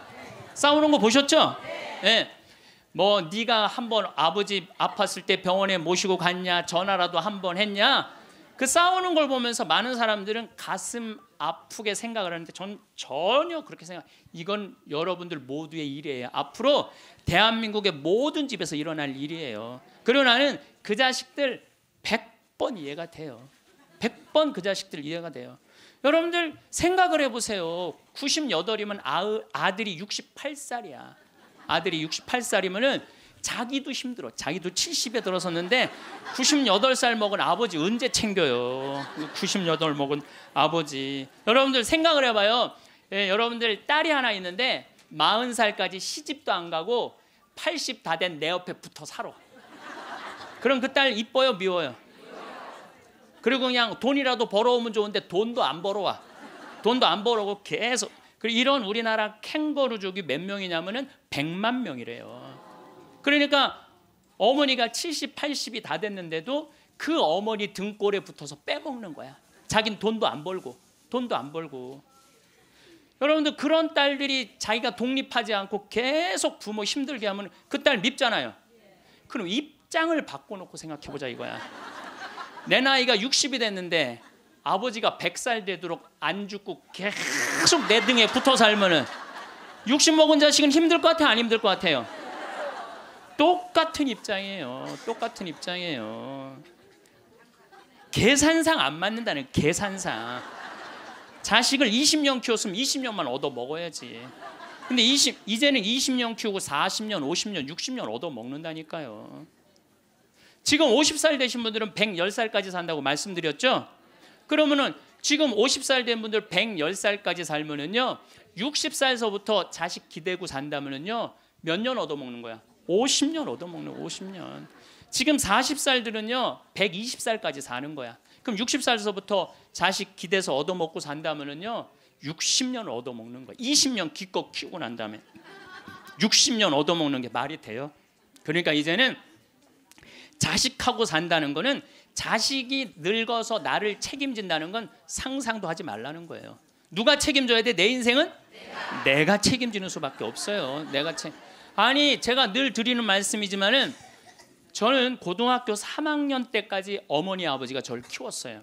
아, 저는 뭐 우리 집 막내로서 정말 사랑 많이 받고 자랐어요. 그 신학교 들어가니까 누가 날 키워줬어? 교회가 날 키워줬어. 신학교 교회가 신부 되고 보니까 너무 고마워. 그래서 20년 동안 나 키워준 어머니 아버지한테 은혜를 갚으리라. 내가 받은 만큼은 돌려주리라. 그래갖고 내가 신부 첫 신부 돼 갖고 첫 사목 활동비 받았을 때 45만 원인가 받았어요. 그 24년 전에요. 어머니 2만 5천 원, 아버지 2만 5천 원 용돈 드렸다니까요. 그렇게 20년 동안 한 달도 안 빠지고 용돈 드렸어요. 그 4년 전에 끝났어. 4년 전에 계산 끝났어요. 그런데도 어머니 아버지가 갈 생각을 안 하네. 아버지 여든 다섯, 어머니 여든 셋인데 너무 정정하신 거예요. 근데 저는 괜찮아요. 왜냐하면은 여러분들 저는 사실은 어머니 아버지를 전 참 많이 사랑해요. 이제는요 자식이 효도로 부모를 모시는 시대는 끝났어요. 자식이 부모를 얼마나 사랑하느냐가 결정적이에요. 너무 사랑하면 보고 싶잖아. 자꾸 같이 있고 싶고 사랑은 그거 아니에요? 보고 싶고 같이 있고 싶고. 그러니까 아버지가 여든 다섯이 돼도 어머니가 여든 셋이 돼도 항상 머릿속에는 시간만 되면 아버지 어머니 보러 가고 싶다. 이 생각을 좀 갖고 있어요. 이건 효도의 차원이 아니에요. 사랑의 차원이지. 그러니까 나는 또 어머니 아버지가 살아있는 게 좋아. 왜냐하면 어머니 아버지 죽으면 아무도 없잖아요. 마누라가 있어, 자식이 있어, 누가 있어. 어머니 아버지 죽으면 끝인데. 그래서 내가 어머니 아버지한테 꼭 하는 말이 있어요. 올해도 가서 말씀드렸어요. 어머니 아버지, 내가 70에 은퇴하니까 앞으로 딱 20년만 더 살아라. 그럼 아버지 105, 어머니 103이야. 어. 그러니까 딱 20년만 더 살고 그땐 내가 안 붙잡겠다. 어, 그땐 죽어도 된다. 어. 저는 상관없는데 여러분들은 상관이 있어요. 왜 상관이 있느냐면은 70살 된 여러분들, 50, 60살 된 여러분들은 지금 나도 힘들지만 자식 결혼시켜 줘야지. 또 뭐 책임져야 될 게 얼마나 많아. 그런데 늙은 어머니 아버지, 90, 100살 된 어머니 아버지까지 살아 있다면은 이건 너무 힘든 거예요. 너무너무 힘든 거예요. 그러니까 인생이 즐거운 게 아니라 인생이 온통 짐이야, 짐. 그러니까 온통 짐이 되기 싫으면은요, 여러분들 짐이 되기 싫으면요, 내 인생은 이제 내가 책임지는 거예요. 내 인생은. 그리고 여기 80 넘으신 분들 가운데 자식이 전화 안 한다고 섭섭해하지 말아요. 자식이 전화 안 한다고. 당연히 잊어먹을 때도 돼요. 그, 그 나이 되면은 그 나이 되면 잊어먹을 때도 돼요. 어머니 아버지가 있는지 없는지도 모르는데 무슨 전화야 전화는. 응. 그리고 정 목소리 듣고 싶으면 본인이 하세요. 전화기 째려보고 있지 말고. 1번 누르면 큰아들, 2번 누르면 작은 아들 나오는데 그걸 못하고 이놈의 새끼들이 손가락이 없어 발가락이 없어 왜 전화를 안 해? 자기가 하면 되지. 그래서 늙어서는 뭐를 버려야 되냐면 거지 근성을 버려야 돼요. 예. 누가 나한테 해주겠지, 날 찾아와 주겠지 이런 생각 절대 하지 말라는 거예요. 이제 여러분들 어, 그 내 인생을 내가 책임지는 방법은 딱 한 가지밖에 없어요. 자식 학원 끊는 거예요. 자식 학원 끊고 대학 다닌 자식 있으면 휴학 시키고 그리고 결혼은 네가 벌어서 가라 그러는 거예요. 이 대한민국 이 세 가지가 안 되잖아요. 그럼 모두가 불행할 수밖에 없어요. 근데 우리나라 애들이 지금 얼마나 허약하냐 하면 우리 생태 마을에 우리 생태 마을은 참 일이 봄 1년 내내 일이 너무너무 많아요. 그래서 사람이 많이 필요해요. 사람이 많이 필요하고 내가 고등학교 졸업생들 많이 뽑았어요. 근데 10명 중에 9명은 가요. 일주일도 일을 못 하고. 10명 중에 9명이 왜 일주일도 못 하고 가는 줄 알아요? 초등학교, 중고등학교 24시간 책상에만 앉아 있었던 애들이야. 책상에만. 그러니까 끈질기게 노동을 하는 걸 배워본 적이 없어. 여러분들 유럽 아이들, 미국 아이들은요 이 스포츠를 너무너무 중요하게 여겨요. 그래서 토요일 날 일요일만 되면은 엄마 아빠들이 애들 운동하는 거 계속 지켜봐요. 그 내가 이번에도 그 미국 쪽에 그 워싱턴 쪽에 강의를 갔는데 그러더라고요. 여기 우리 사회는요 운동을 못하면 사람 대접을 못 받는다는 거예요. 자기 아들 지금 넉비를 시킨대 우리나라 럭비를 시키는데 초등학교 6학년 애야 너무 너무 럭비를 잘한다는 거예요. 그러니까 그 럭비 데리고 다니는 게 일이야. 그러니까 걔네들은 기본 끈기가 있는 거야. 운동을 하니까. 근데 우리나라 애들은 운동이 어디 있어? 국어, 영어, 수학 외우느냐고 그냥 대학교 때까지 책상에 앉아 있는 거야. 이런 애들이 생태 마을에 갖고 아침 9시부터 저녁 6시까지 일을 해 봐요. 못 견뎌요. 뭐 하루 만에 가는 놈, 이틀 만에 가는 놈, 일주일 만에 가는 놈. 제가 그 돌아가는 아이들을 보면서 이거 큰일 났구나. 대한민국 이거 큰일 났구나. 전부 머리 쓰는 일만 그것만 일이라고 생각하고 노동을 귀하게 여기자. 여러분들 노동을 귀하게 여기지 않으면요 그 사회는요 끝나는 수밖에 없어요. 로마가 왜 망했어요? 자기 나라 지키는 용병 다 용병 갖다 써 갖고 망한 거예요. 우리나라도 지금 외국인 노동자들 엄청나게 들어오잖아요. 그러니까 중소기업에 가보면 전부 사람이 없다고 난리야. 그런데 국가에 보면은 지금 애들 캥거루족이 100만 명에 취직 못하는 애들 2, 300만 명이 넘게 집에서 그냥 노는 거야. 아무 일도 안 하고 엄마 돈 빼먹는 거죠. 엄마 아빠 등골 빼먹는 거예요. 그거는 엄마 아빠의 등골만 빼먹는 게 아니라 80, 90까지 살 엄마 아빠 등골까지 다 빼먹는 거예요. 이게 여러분들 보통 심각한 문제가 아니에요. 대한민국 지금 심각해요. 자식들한테 돈 다 뺏긴 노인들 쓸 돈이 없어서 집 안에만 그냥 박혀 있는 거예요. 예, 공원에 나가 이렇게 장 저기 뭐야 장기 바둑 두는 근데 기웃거리다가 집에 들어오는 할머니들 참 많아요. 결국 사는 맛 하나 없이 사는 노인들이 극단적으로 자살이라는 걸 선택할 수밖에 없어요. 여러분들 우리 이 가톨릭 안에 자살은 구원받을 수 없다고 그러잖아요. 마지막을 자살로 삶을 마감하면 어떻게 해요? 우리나라가 10만 명당 평균 자살 숫자가 31명이에요. 근데 참 재미난 통계가 있어요. 60대는 10만 명당 51명으로 늘어요. 그러니까 나이를 먹으면 먹을수록 더 많이 자살하는 거죠. 70대는 몇 명으로 늘어나냐면 79명으로 늘어나요. 70대는 79명. 80대는 몇 명으로 늘어나냐면 127명으로 늘어나요. 80대는. 그러니까 80대가 돈 없지, 자식 안 찾아오지, 병 들었지. 결국은 우울증 걸려서 선택하는 거는 자살밖에 없다는 거예요. 왜 삶을 그렇게 마감하냐 이거예요. 근데 이게 다 여러분들 욕심 때문에 그래요. 욕심 때문에 애들을 망치는 거예요. 여러분들 지금 요 초등학교 학생들이 오늘 굉장히 많이 왔는데 어 굉장히 막 아주 이거 획기적인 일이 지금 벌어졌어요 지금 초등학생들이 쟤네들이요 선행 학습을 학원에 가서 한 번 하고 집에서 숙제하고 그리고 학교 가면은요 선생님이 가르친 게 재미가 하나도 없대요. 세 번째 공부하니까 세 번째 공 그러니까 선생님이 존경스럽지가 않은 거야. 그래서 쟤네들이 학교 다니는 게 재미가 하나도 없는 거예요. 여러분 학교 다니는 게 재미가 없는 애들이 나중에 어떻게 될 것 같아요?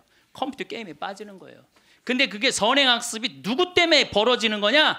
대한민국의 부모들 때문에 그래요. 내만 1등 시키고 싶은 이 욕심, 이게 대한민국을 병들게 하고 아이들 병들게 하고 그것만에 거기에 학원비 들어가는 건 내 노년의 이 연금을 다 쏟아 붓는 거야.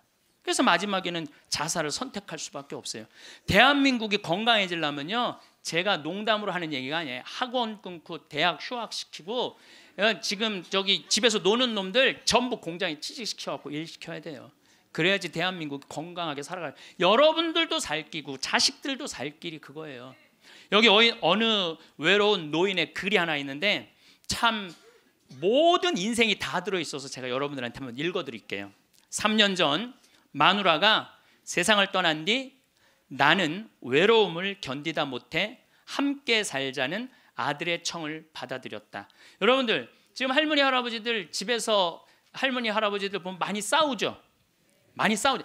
그게 얼마나 큰 행복인지 몰라. 싸우는 것도 행복이에요. 싸울 남편도 없잖아요.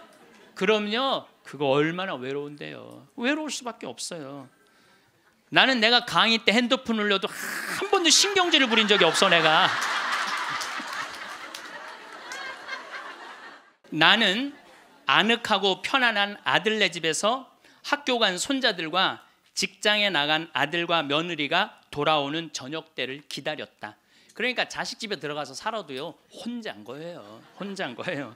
아이들이 있어 집안 분위기가 활기찰 것이라고 기대했지만 손자 녀석들은 학교에서 돌아오자마자 늘 숙제하느라고 바빴다. 공부하느냐고 할머니 할아버지랑 놀아줄 시간 없다는 얘기예요. 하루에 한 번 저녁 시간에 온 식구가 모였는데 식사 분위기는 대체로 딱딱했다. 가끔 어린 손자가 학교에서 일어난 일을 얘기하며 깔깔대면 제 어미가 할아버지 앞에서 떠들면 못 써. 하고 야단을 쳤다. 사실 나는 녀석들이 짓거리는 일이 즐거웠는데 말이다. 차를 마실 때라도 두런두런 이야기를 나누면 좋으련만 아들이 아버님 늦었습니다. 이제 그만 주무시지요. 하고 말하면 나는 잠이 오지 않아도 내 방에 가야 했다. 감옥이 죠 감옥. 바깥에 나가고 혼자 있을 수도 없고 자식하고 산다고 행복한 게 아니라니까요. 그러던 어느 날 이웃 노인 몇 사람과 오래간만에 즐겁게 마작을 하다가 시간 가는 줄 몰랐다. 그러다 저녁에 퇴근한 며느리에게 그 노인들 식사를 같이 부탁했는데 며느리가 진수성찬을 차려 올렸다. 그런데 이튿날 아침이었다. 아들이 미리 말도 없이 손님을 청하면 어떡하냐면서 앞으로 그러지 마세요라고 말했다. 언젠가부터 나는 자주 배가 고팠다. 금방 밥을 먹어도 또 배가 고팠는데 냉장고에 내가 먹을 만한 간식이 없었다.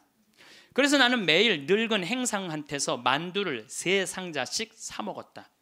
그 뒤로는 뱃속이 편안했고 하루 종일 목소리를 쓰지 않는 나로서는 만두 장수와 이야기 나누는 일도 즐거웠다. 여러분들 늙으면은요 이 만두 장사랑 얘기 나누는 것도 즐거워. 나하고 누가 말만 해줘도. 그래서 우리 생태 마을에 전화해 갖고 할머니들요 무지하게 통화 오래 하는 말들이 많아요. 어느 날 만두 장수는 내게 줄 거스름 돈이 모자라 나중에 며느리를 통해서 돈을 건네 주었는데 며느리는 아버님이 이렇게 직접 사다 드시면 사람들이 우리가 아버님을 잘 돌보지 않는다고 생각할 거예요 라고 말했다. 그렇게 2년이 흘렀다. 갈증이 나고 자주 오줌이 마려운 증세가 더 심해져 병원에 갔더니 당뇨병이라고 했다. 아들은 너무 많이 드셔서 그 병에 걸린 겁니다. 라고 말했다. 며칠 뒤 내 몸은 회복됐지만 마음은 뒤숭숭했다. 그러다 문득 마누라 장례식 때 보고 여태 만나지 못한 친구가 생각났다. 그때 친구는 장례식장에서 양로원 생활이 즐겁다고 했다. 같은 연배의 늙은이들과 산책도 하고 요리도 하고 밤 늦게까지 얘기도 나눈다며 만족한 표정을 지었다. 내가 들어갈 방도 있냐고 묻자 친구는 자네는 아들과 더불어 만년을 편안해 편안히 즐기게라고 말했다. 여러분들 늙어서요 늙은 친구들하고 어울려서 노는 게 행복할 것 같아요. 나 쳐다보지도 않는 아들하고 사는 게 행복할 것 같아요. 여기 여러분들 여기 지금 늙은 친구들하고 오신 분들 많죠? 네. 아들이 여기 와서 놀아줄 수 있어요? 못 놀아줘요? 못 놀아줘요. 그러니까 이 생각을 바꿔야 된다는 거예요. 그냥 돈을 꾸리고 아껴서 그 옆에 있는 소중한 친구하고 밥 한 번 사 먹을 생각 안 하고 자식 뒷돈 대줄 생각만. 그 정신 나간 엄마 아빠들이라는 거예요. 그러면 나는 그 친구의 말에 공감했지만 이미 3년을 편안하게 보냈으니 그것으로 족하지 않는가. 나는 자리에서 일어나 주섬주섬 짐을 꾸렸다. 옛 친구들이 있는 곳으로 가기 위해 제가 가끔 삼성 노블 카운티 또 유무상통 마을 그야말로 돈이 있는 할머니 할아버지들 그 저기 막 노인 요양 시설에 가서 강의를 해요. 그분들 참 멋지게 살더라고요. 예. 어, 해주는 밥 딱딱 먹고 수영장 있고 뭐 저기 뭐 삼성 노블 카운티는 골프 클럽도 있더라고 같이 골프도 치고 다니고 여러분들 여러분들 다 하실 수 있어요. 뭐만 하면 학원만 끊으면 욕심만 버리면 여러분들 다 하실 수 있어요. 대한민국은요 지금 얼마든지 행복하게 살 수 있는 길인데 이놈 욕심이 지금 대한민국을 막고 있는 거예요. 그래서 늙어서 행복하게 살기 위해서는 첫 번째 무조건 집을 나가라. 나이 먹어서 외롭지 않게 사는 방법은 일단 해만 뜨면 집을 나가야 돼요. 그리고 70, 80 넘어갖고 집에 있는 게 아니에요. 일단 나가주는 게 예의라니까. 어? 그냥 70, 80 넘어갖고 이렇게 그냥 하루 종일 그리고 앉아 있으면요 며느리들 힘들어요. 예. 어, 며느리들만 힘들게 아니라 여러분들도 심심해서 죽는다는 거예요. 혼자 있는 고독이라는 게 참 무서워요. 우리나라 독거노인 숫자가 125만 명이나 돼요. 어떤 모양으로든 함께하는 방법을 찾아야 돼요. 가끔 1박 2일씩 사라져 주는 것도 예의야. 그래서 우리 생태 마을에 예, 오는 것도 예의예요, 예의. 저는 우리 생태 마을에 어, 봄만 되면은 할머니 네 분 다섯 분이요 어울려서 생태 마을에 오셔서 월요일부터 금요일까지 쉬고 가요. 월요일부터 금요일까지 쉬어봤자 13만 원밖에 안 돼요. 아니 여러분들 일주일 동안 내 손으로 밥 안 하고 먹여주지, 재워주지, 찜질방 있지, 산책로 있지, 미사 있지, 강의 있지. 1년에 한두 번 13만 원 위해서 나를 못 써요? 근데 그 할머니들이 이제 몇 년을 오는데 그 할머니 나한테 이구동성을 하는 얘기가 있어요. 신부님, 신부님 말대로 집 잡혀서 이렇게 내가 쓰다 보니까 인생이 너무 즐겁다는 거. 인생이 너무 즐겁다는 거. 집 잡혀서 쓰다 보니까 인생이 너무 너무 즐겁다는 거. 사는 게 너무 행복하다고 그래요. 요즘 우리 어머니 친구들이 매일 모여서 우리 집에서 먹고 막 춤도 춘대 음악 틀어놓고 춤도 추고 예. 그리고 또 이, 뭐예요 니마 그 강을 건너지 마오도 가서 보고 국제시장도 가서 보고 왔는데 평생 영화 안 보러 가시던 분인데 요즘 보러 다녀요. 83 대 갖고. 근데 어머니가 하시는 말씀이 이제 사는 게 재밌대. 쓰니까 재밌는 거 쓰니까. 여러분들 국제시장에 유일한 내 귀에 들어오는 단어가 딱 하나 있어요. 이 한덕수라는 친구가 함흥 일사후퇴에서 오잖아요. 네가 장남이니까 네 책임져지라고 그러니까 어, 이제 자기가 대학도 못 들어가고 파독 광부가 되죠. 예, 그런데 다시 돌아와요. 해양 대학에 합격을 해요. 돌아와서 근데 베트남 또 참전을 가요. 동생하고 꽃분인네 가게 그거 구한다고. 예, 근데 그 부인이 한마디 해요. 당신 왜 가족을 위해서만 사느냐고 당신을 위해서도 살으라고 당신을 위해서도 살으라고 그런데도 이 사람은 끝까지 어, 가족을 위해서 마지막까지 살죠. 에, 그 여의도에서 에, 막순이라고 이 함흥에서 놓친 그 이제 미국에 이제 입양돼 갖고 정말 눈물 콧물 다 빼죠. 근데 저는 이런 생각이 들어요. 대한민국에 지금 70, 80대 되신 분들이 이 나라 일으켜 세운 거예요. 이 나라 일으켜 세우고 고생이란 고생은 다 하고 그럼 이제 호강할 때도 됐는데 아직도 뭐가 몸에 뱉냐면 나 같은 게 무슨 호강이야 이런 생각을 하는 분들이 너무 많아요. 그래서 여러분들 제발 집을 나가세요. 네, 네. 집을 무조건 나가야 돼요. 집을 집을 나가야지 집 안에 있으면 안 돼. 그래서 월요일 날은 월요일 날은 경북궁 쉬죠. 화요일 날은 경북궁, 수요일 날은 덕수궁, 목요일 날은 창덕궁, 예, 금요일 날은 국립박물관, 예, 토요일 날은 온양온천, 전철 공짜냐 온양온천 갔다 오고, 예, 일요일 날은 춘천 갔다 오고, 그렇게 계속 돌아다니는 거예요. 계속 돈 하나도 안 들어요. 다 무료 입장이야. 다 무료 입장. 내가 말하는 데는 다 무료 입장이야. 그렇게 계속 돌아다니다 보면은요 죽을 때 어떻게 죽는다고 지쳐서 죽는다니까 지쳐서 죽을 때 지쳐서 죽어야 돼. 네. 네. 미국에서는 할머니 할아버지들 사진을 찍어놔요. 사진을 찍어놓고 3개월 동안 뭐를 시키느냐면은 3개월 동안 뭐를 시키느냐면은 운동을 시켜요. 헬스도 하게 하고 그 다음에 파티도 하게 하고 럭비도 하게 하고 그렇게 3개월 동안 그 3개월 후에 다시 사진을 찍어요. 그랬더니 3개월 전에 찍은 사진보다 3개월 후에 찍은 사진이 훨씬 젊게 보이더라 이거예요. 사람은요 어떤 마음을 가지고 사느냐에 따라서 생김새도 달라진다는 거예요. 나는 늙었어. 난 이제 죽을 거야. 죽을 날만 계속 기다리고 있잖아요. 그러면 그냥 죽는 거예요. 그 우리나라 그 의사 선생님들이 100살 넘은 분들한테 문의를 했어요. 손수건 있어요. 걱정하지 마세요. 여러분들이 너무 많아갖고 지금 더워서 또 강원도는 오늘 영하 17도예요. 영하 17도라 내복을 입고 왔더니 우리는 내복을 안 입으면은 뭐 추워서 못 살아요. 어쨌거나 예, 100살 넘은 분들한테 물어봤어요. 이렇게 100살까지 건, 어떻게 건강하게 사느냐고 근데 100살 넘은 모든 분이 똑같이 뭐라고 얘기냐면 해만 뜨면 집을 나간다는 거예요. 여러분 오늘 해만 뜨면 여기 나오니까 좋아요 안 좋아요? 좋잖아. 천주교가 얼마나 할 일이 많아요. 그래서 여러분들 어, 나는 성당 다니는 거 나이 먹어서 참 좋다고 생각해. 성당 다니는 거. 성당 갈 때까지 걸어가요, 안 걸어가요? 걸어. 올 때 걸어오고.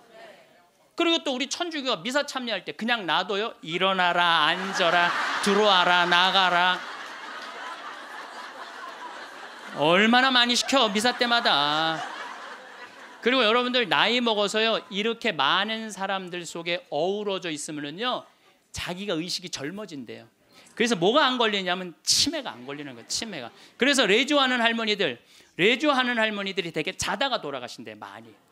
끝까지 활동한다가 지쳐서 죽는 거 지쳐서 레주하는 할머니들이 끝까지 활동하다가 지쳐서 죽는 거 지쳐서. 예. 그러니까 여러분들 성당 다니는 거 참 좋은 거예요. 그리고 제가 권하는 거는 무, 무기력증에 빠지지 않기 위해서 가장 중요한 거 운동하는 거예요. 헬스 자전거 타는 거. 헬스 자전거 꼭 타세요. 허벅지에 근육이 풀리잖아요. 그때부터 누워서 똥오줌 싸는 거예요. 여러분들 누워서 똥오줌 싸는 사람들 많이 보셨어요?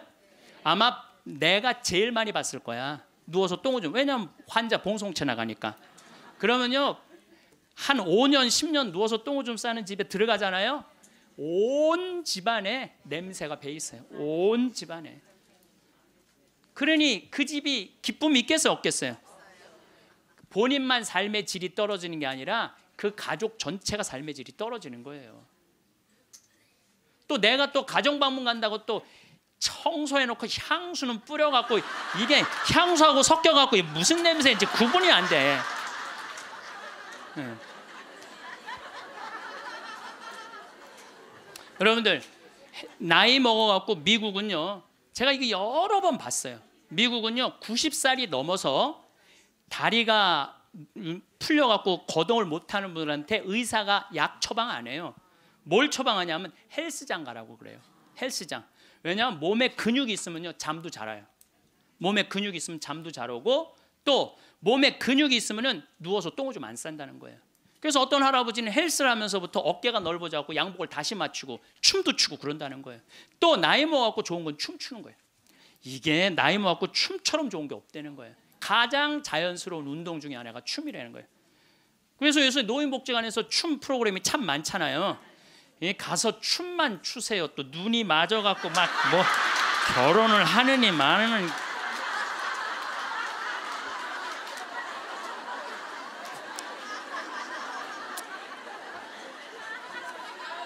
돈 쓰는 거 아깝다고 72%의 돈 쓰는 거 아깝다고 72%의 할머니 할아버지들이 아무것도 안 해서 집에만 있는다는 거야. 우리나라에 지금 72%의 할머니 할아버지들이 돈 쓰는 거 무, 무섭고 아깝다고 아무것도 안 하고 집에서 있는다는 거예요. 그런데 이 중에 45%는 극빈자예요. 극빈자라고 그러는 거는 정말 어려운 분들이 우리나라 OECD 국가 중에 노인 가장 가난한 나라가 우리나라예요. 이것도 참 슬픈 일이에요. 왜냐하면 우리나라가 정말 잘 사는 나라거든요. 여러분들 우리나라 잘 사는 나라인지 모르세요?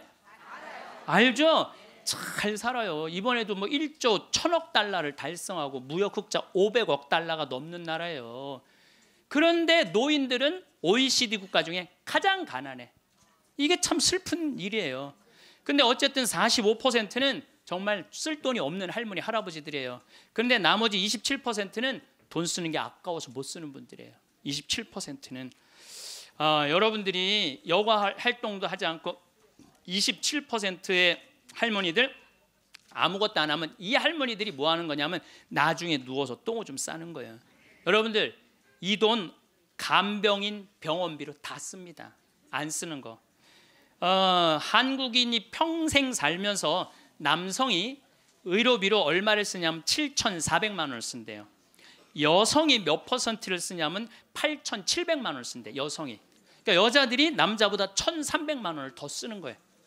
그런데 왜 더 쓰느냐면은 오래 살아서 오래 살아서 더 쓰는 거야. 아, 똑똑하시네. 네. 오래 살아서 더 쓰는 거예요. 그런데 4,300만 원, 65세 이상이 8,700만 원 중에 4,300만 원을 65세 이상 쓴다는 거예요. 그러니까 늙어서 병원비를 다 쓰는 거야. 늙어서 병원비를 다 쓰는 거야. 이 돈 내가 보긴 이돈 4,300만 원 가지고 수영장 다니고 헬스장 다니고 놀러 다니는 대로 쓰고 그런 분들 돌아가실 때 그냥 지쳐서 죽는 거예요. 그런 분들이 제 생각에는 여러분들 운동 어, 헬스장 요즘 7만 원 내지 8만 원 해요. 그럼 그 헬스장만 다녀도요 50년 다닐 수 있어요. 50년. 병원비 다른 거 말고 여러분들이 쓰는 병원비를 가지고만 해도 50년 헬스장 다닐 수 있어요. 자, 이제 헬스장 얘기를 좀 할게요. 제가 왜 헬스장을 굉장히 중요하게 여기느냐 하면은 나이를 먹어서는요. 근력 운동을 해야 돼요. 40살이 넘어서부터 몸에서 1%씩 근육이 빠져나가요. 1%씩 근육이 빠져나가면은 80살 되면 거의 다 다 빠져나가는 거예요. 그럼 뭐만 남어? 뼈만 남는 거예요. 뼈만 남으면 그 다음 뭐 하는 거야? 눕는 거예요. 그래서 그 근육을 보충해 주려면 고기도 일주일에 한 번은 먹어야 되고 또 헬스장. 자, 신부님 저 돈이 하나도 없어요. 신부님은 맨날 돈 있는 사람 얘기만 해요. 여러분들 우리 평창은요. 평창 종합운동장에 건강 증진센터가 있는데 헬스장이 있는데 무료예요. 무료. 이게 우리 평창만 무료가 아니라 여러분들 주위에 무료 헬스장 널려 있어요. 널려 있어요. 그러면은 아침에 나가갖고 헬스장에 헬스장 가면은요 젊은 사람도 구경할 수 있고 내 몸에 맞게만 하면은요 한 시간 두 시간 얼마든지 시간 보낼 수 있어요. 그 옆에 목욕탕 딸려 있으면 목욕탕. 그리고 저녁에 집에 들어오면은요 자지 말라 그래도 쓰러져서 자요. 예, 자지 말라 그래도 쓰러져서 자요. 근데 문제는 뭐냐면은 할머니들 중에 이런 분들이 신부님 나이를 먹으니까 잠이 안 와. 잠이 안 와. 이런 분들은 왜 잠이 안 오냐면 하루 종일 소파에 앉아 갖고 에, 여러분들 에, 누워서 똥오줌 싸는 아버지를 모시면서 어떤 분이 일기를 썼어요. 극히 일부만 제가 옮겨 놓을게요. 그 이 참 내용이 참 가슴이 참 짠해요. 이 더 기가 막힌 내용도 있는데 내가 이 방송이라 정말로 이 정말 우리들이 들을 만한 객관적인 내용만 쓴 거예요. 어제는 불효를 했다. 기저귀 찬 채로 거실로 나가려는 아버지와 어머니의 실랑이가 벌어지고 급기야는 누워서 발길질하는 아버지의 폭력으로부터 어머니가 먼저 돌아가실 지경에 이르렀다. 여러분들 마지막에 똥오줌 싸고 이런 분들 치매에 걸린 분들은요 막 뱀이 막 기어간대요. 천장에 뱀이 기어가고 천장이 막 무너지는 것 같고 극도의 공포에 사로잡힌대요. 그러니까 치매 걸리는 게 진짜 똥오줌 싸는 것보다 더 무서운 게 뭐예요? 치매 걸리는 거예요. 근데 진짜 무서운 건 치매에 걸려갖고 똥오줌 싸는 거예요. 네, 치매에 걸려갖고 그리고 집 나가 집 나가갖고 치매 걸리는 부모님 잃어버리면은 자식들이 또 얼마나 애가 타요. 그리고 막 짓기 다 망가뜨려 놓고 참 이런 못할 짓을 이게 이유가 딱 한 가지라니까요. 안 죽어서 생기는 일이에요. 안 죽어서. 자 여기 그러니까 이 할아버지가 이제 할머니를 막 때렸나 봐요.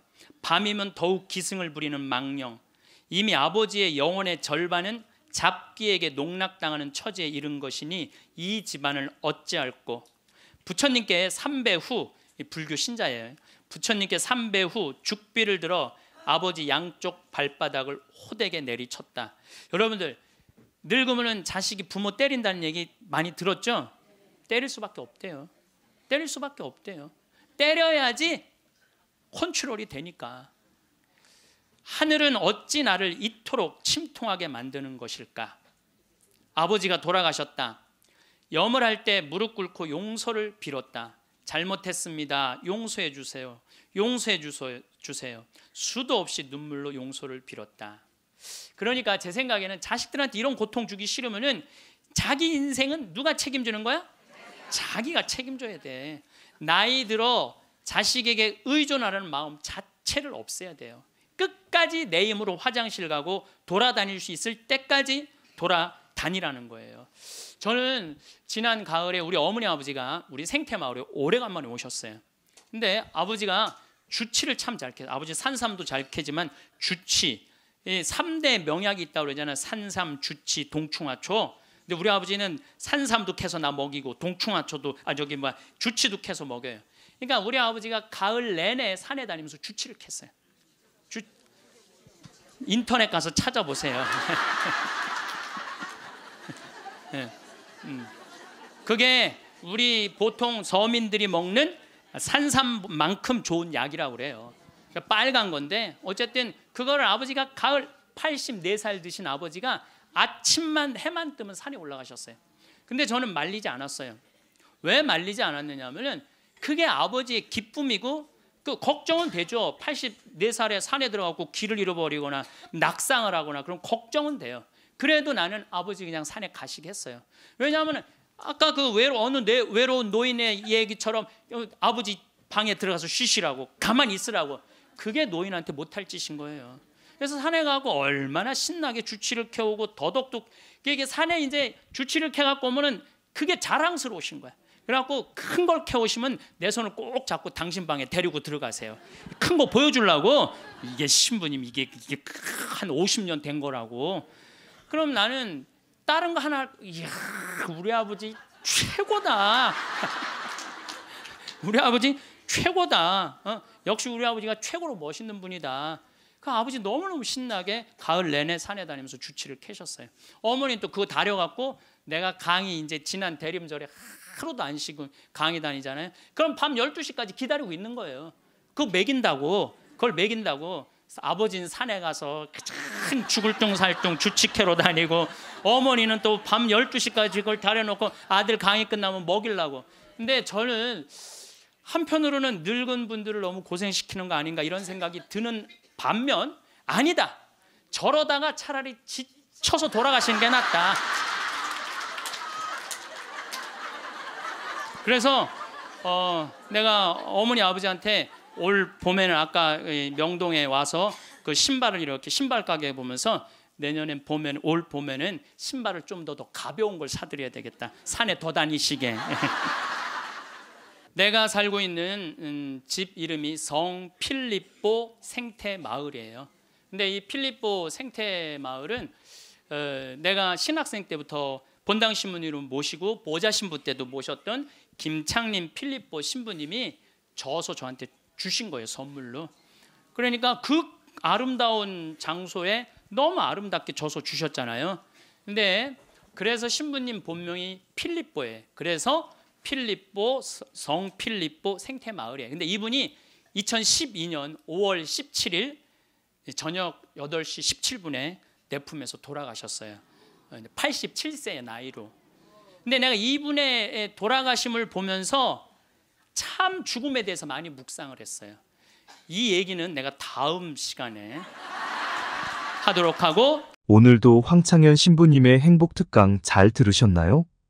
이어서 나이 들수록 들으면 도움이 되는 지혜의 말씀을 들려드리겠습니다. 혹시 지금 어떠한 것에 매달리고 있지는 않으신가요? 좋은 집에 살아야 한다. 좋은 차를 타야 한다든지 말입니다. 뿐만 아니라 형제자매나 자식들에게 매달리는 분들도 계시겠죠. 이러한 집착의 마음은 우리의 몸과 마음을 괴롭게 합니다. 좋은 것을 놓아버려라. 세상을 볼 때 우리는 거의 자동적으로 좋거나 싫다고 분별하곤 한다. 모든 사물이 좋거나 싫고 모든 문제가 옳거나 그르다. 세상을 대할 때 우리는 왜 습관적으로 좋거나 싫은 어느 한쪽을 택해야 하는 것일까? 왜 좋거나 싫다는 판단을 버리고 그저 그 현실을, 그 상황을, 그 사람을, 그 문제를 다만 묵묵히 지켜볼 수는 없는 것일까? 좋고 싫은 양극단은 둘 다 괴롭다. 좋다고 판단하면 집착이 생겨 괴롭고 싫다고 판단하면 증오가 생겨 또한 괴롭다. 보통 사람들은 싫은 것이 올 때 분명하게 싫어하고 멀어지려 하고 증오하면서 싫은 것이 가까이 오지 못하도록 두 눈 부릅뜨고 지켜본다. 싫은 것은 죽어도 싫기 때문에 그것들이 범접하지 못하도록 주의 깊게 살펴보는 것이다. 그러나 좋은 것에 대해서는 전혀 주의를 기울이지 않는다. 좋은 것에 대해서는 완전히 무방비 상태다. 사실 싫은 것보다 더 주의를 기울이고 관심을 가져야 할 것이 바로 좋은 것이다. 경전의 말씀처럼 좋은 것에서 슬픔이 생기고 근심이 생기며 속박이 생겨나기 때문이다. 싫은 것에서 생기는 미움은 오히려 비워내기 쉽지만 좋은 것에서 오는 애착과 근심과 속박은 우리를 꽁꽁 올가맨다. 내가 좋아하는 것에 대한 애착과 집착이야말로 우리가 비워내고 또 비워내려 애를 써도 도무지 비워지지 않는 마지막 결박이다. 좋은 것이 내게 다가오는 그때를 주의 깊게 지켜보라. 사랑도 소유도 물질도 돈도 좋은 집도 좋은 차도 모든 좋은 것들이 내게 밀물처럼 밀려오는 바로 그 순간이 내 인생 최고의 위기이다. 주의 깊게 지켜봄으로써 그로 인한 슬픔과 근심과 속박을 떨쳐버리라. 애욕은 더러운 시궁창과 같다. 욕망의 마음이 사로잡혀 애착하는 것을 애욕이라 한다. 애욕은 늪과 같고 꽁꽁 묶인 밧줄과 같아. 빠져나오려고 발버둥치면 칠수록 오히려 더욱 올가매고 더 깊게 빠져든다. 그것은 험한 가시덤불 같고 성난 독사와 같으며 더러운 시궁창과 같아 자신도 해치고 남도 해친다. 마음이 대상에 한번 사로잡히면 이처럼 헤어나기 어렵고 자신의 정신을 빼앗아간다. 사랑하는 사람도 애착하는 소유물도 따르는 종교며 사상일지라도 거기에 마음이 붙들려 사로잡히는 순간 괴로움은 시작된다. 애욕은 언제나 애욕 그 자체로 남지. 언제까지고 충족되지 않는다. 애욕은 충족과 갈구로서는 다 채워지지 않고 비움과 관찰만이 그 완전한 소멸을 돕는다. 순간순간 어떤 애욕에 결박당하여 있는지를 분명하게 인식하고 알아채라. 일어나는 애욕을 분명하게 볼 때 애욕은 있지만 애욕에 물든 자는 없다는 것을 알게 된다. 그리고 애욕에 물든 내가 사라지는 순간 애욕도 함께 사라진다. 내가 애욕에 빠지는 것이 아니라 다만 어떤 중립적인 현상이 일어나고 사라질 뿐이다. 그 현상을 애욕이라거나 집착이라고 이름 짓지도 말고 다만 살펴보라. 내가 한다고 착각하여 사로잡히는 순간 애욕은 늪과 같고 칼날과 같고 더러운 시궁창과 같이 나를 사로잡아 꽁꽁 올가매고 만다. 애욕에 사로잡히는 자가 되지 말고 다만 지켜보는 자가 되라. 정착하지 말고 여행하라. 자신의 소유가 아닌 것은 집착하지 말고 다 버려라. 내 것이 아닌 것을 모두 버릴 때 세상을 소유할 수 있다. 만약 어떤 이가 뒷동산에 있는 나뭇잎을 가지고 간다고 했을 때 왜 나뭇잎을 가졌느냐고. 그와 싸우겠는가 수행하는 사람들도 그와 같아서 자기 소유가 아닌 물건에 대하여 애착을 버려야 할 것이니 버릴 것을 버릴 수 있어야 마음이 평온하다. 본래부터 내 것이 어디에 있는가. 나라는 존재 또한 잠시 인연 따라왔다가 인연 따라가는 무상한 존재인데 하물며 내 것이라고 붙잡아 두고 집착할 것이 무엇이겠는가. 뒷동산에 나뭇잎이 어찌 내 것일 수가 있으며 땅에 금을 그어놓고 돈을 지불한다고 어찌 내 땅일 수가 있겠는가. 그것은 인간의 오만한 생각일 뿐이다. 이 세상에 내가 영원히 가질 수 있는 것은 어디에도 없다. 그렇다고 일체의 모든 소유를 다 버리고 완전한 거지가 되라는 말은 아니다. 인연 따라 자연스럽게 나에게로 온 것까지 억지로 다 버릴 필요는 없다. 그러나 자기 소유물들의 특성을 알 필요는 있다. 내 소유물들은 인연 따라 잠시 나를 스쳐갈 뿐이다. 우리는 그것을 잠시 보관하면서 인연 따라 쓸 뿐이다. 잠시 스쳐가는 것들을 스쳐가지 못하게 나라는 틀 속에 가두게 되면 나를 중심으로 우주적인 에너지는 정체되고 만다. 세상 모든 것들은 끊임없이 변화하면서 이 끝없는 우주를 여행하는 임무를 부여받았다. 그들의 목적은 끊임없는 여행에 있지. 어느 한 곳에 정착하는 데 있지 않다. 바로 그 사실을 깨달아야 한다.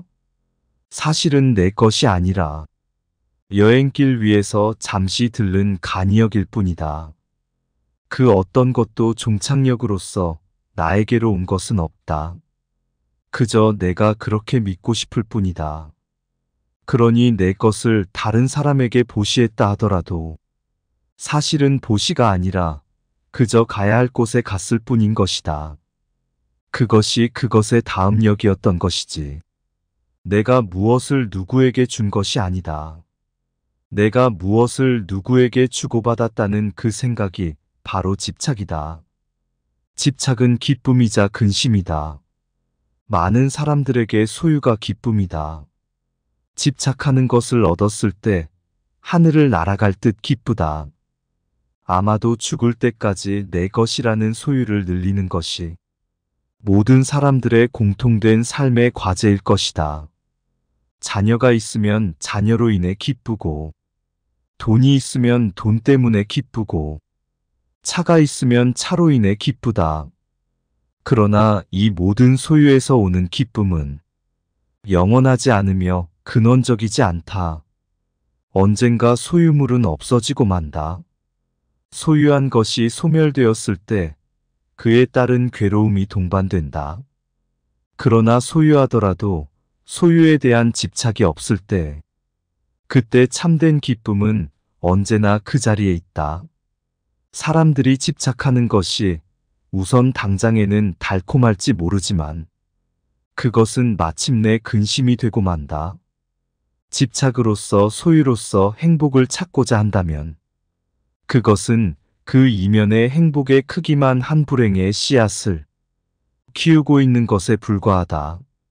자식이 있으면 자식 때문에 기쁘지만 또한 자식으로 인해 괴롭고 돈이 있으면 돈 때문에 기쁘지만 돈 때문에 괴롭기도 하다. 모든 소유의 기쁨은 곧 괴로움으로 바뀐다.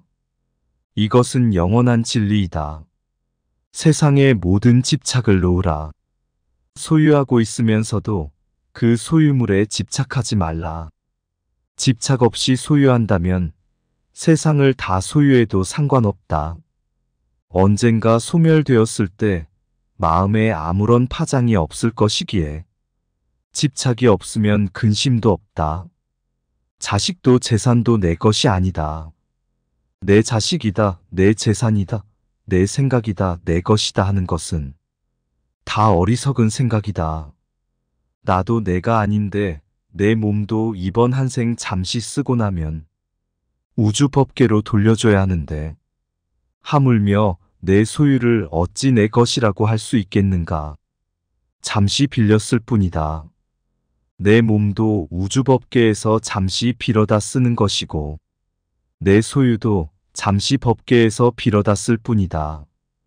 그러니 집착할 것이 없다.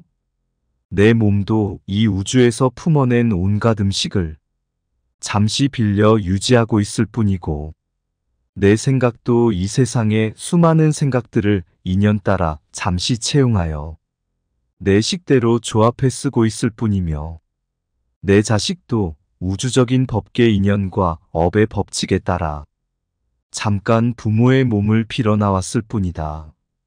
세상 모든 것들이 이처럼 다른 모든 존재들에 의지하여 다만 잠시 그 모습을 취하고 있을 뿐이다. 세상 모든 존재는 우주의 것이며 다른 모든 존재들의 것이다. 내가 곧 이 우주이며 또한 나는 이 우주의 모든 존재들과 긴밀하게 연결되어 있다. 그러니 어찌 내가 누구를 가지고 내가 무엇을 집착하고 누가 무엇을 소유할 수 있겠는가? 온 우주는 전체가 전체에 의해 존재하며 전체가 전체에 의해 소유되고 있는 것이다.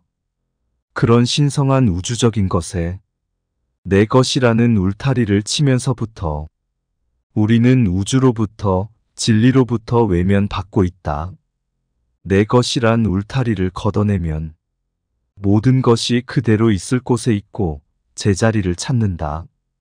한 생각 일으켜 내 것을 만들면 세계가 나뉘어 시끄럽지만 한 생각 놓아 내 것을 걷어내면 세계도 나도 나뉘지 않아 고요하다.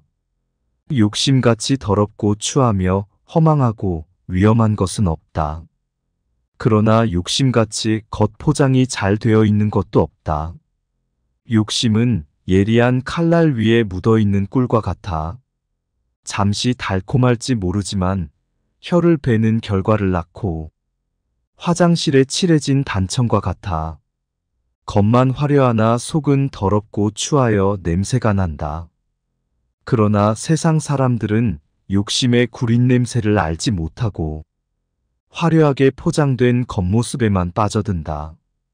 그것이 곧 내 혀를 베고 내 몸을 베며 내 존재의 뿌리를 잘라내리라는 사실은 애써 외면하고 있다. 욕심이 지금 당장에 아무리 큰 기쁨을 가져다 줄지라도 그 끝은 추하며 고통스럽다.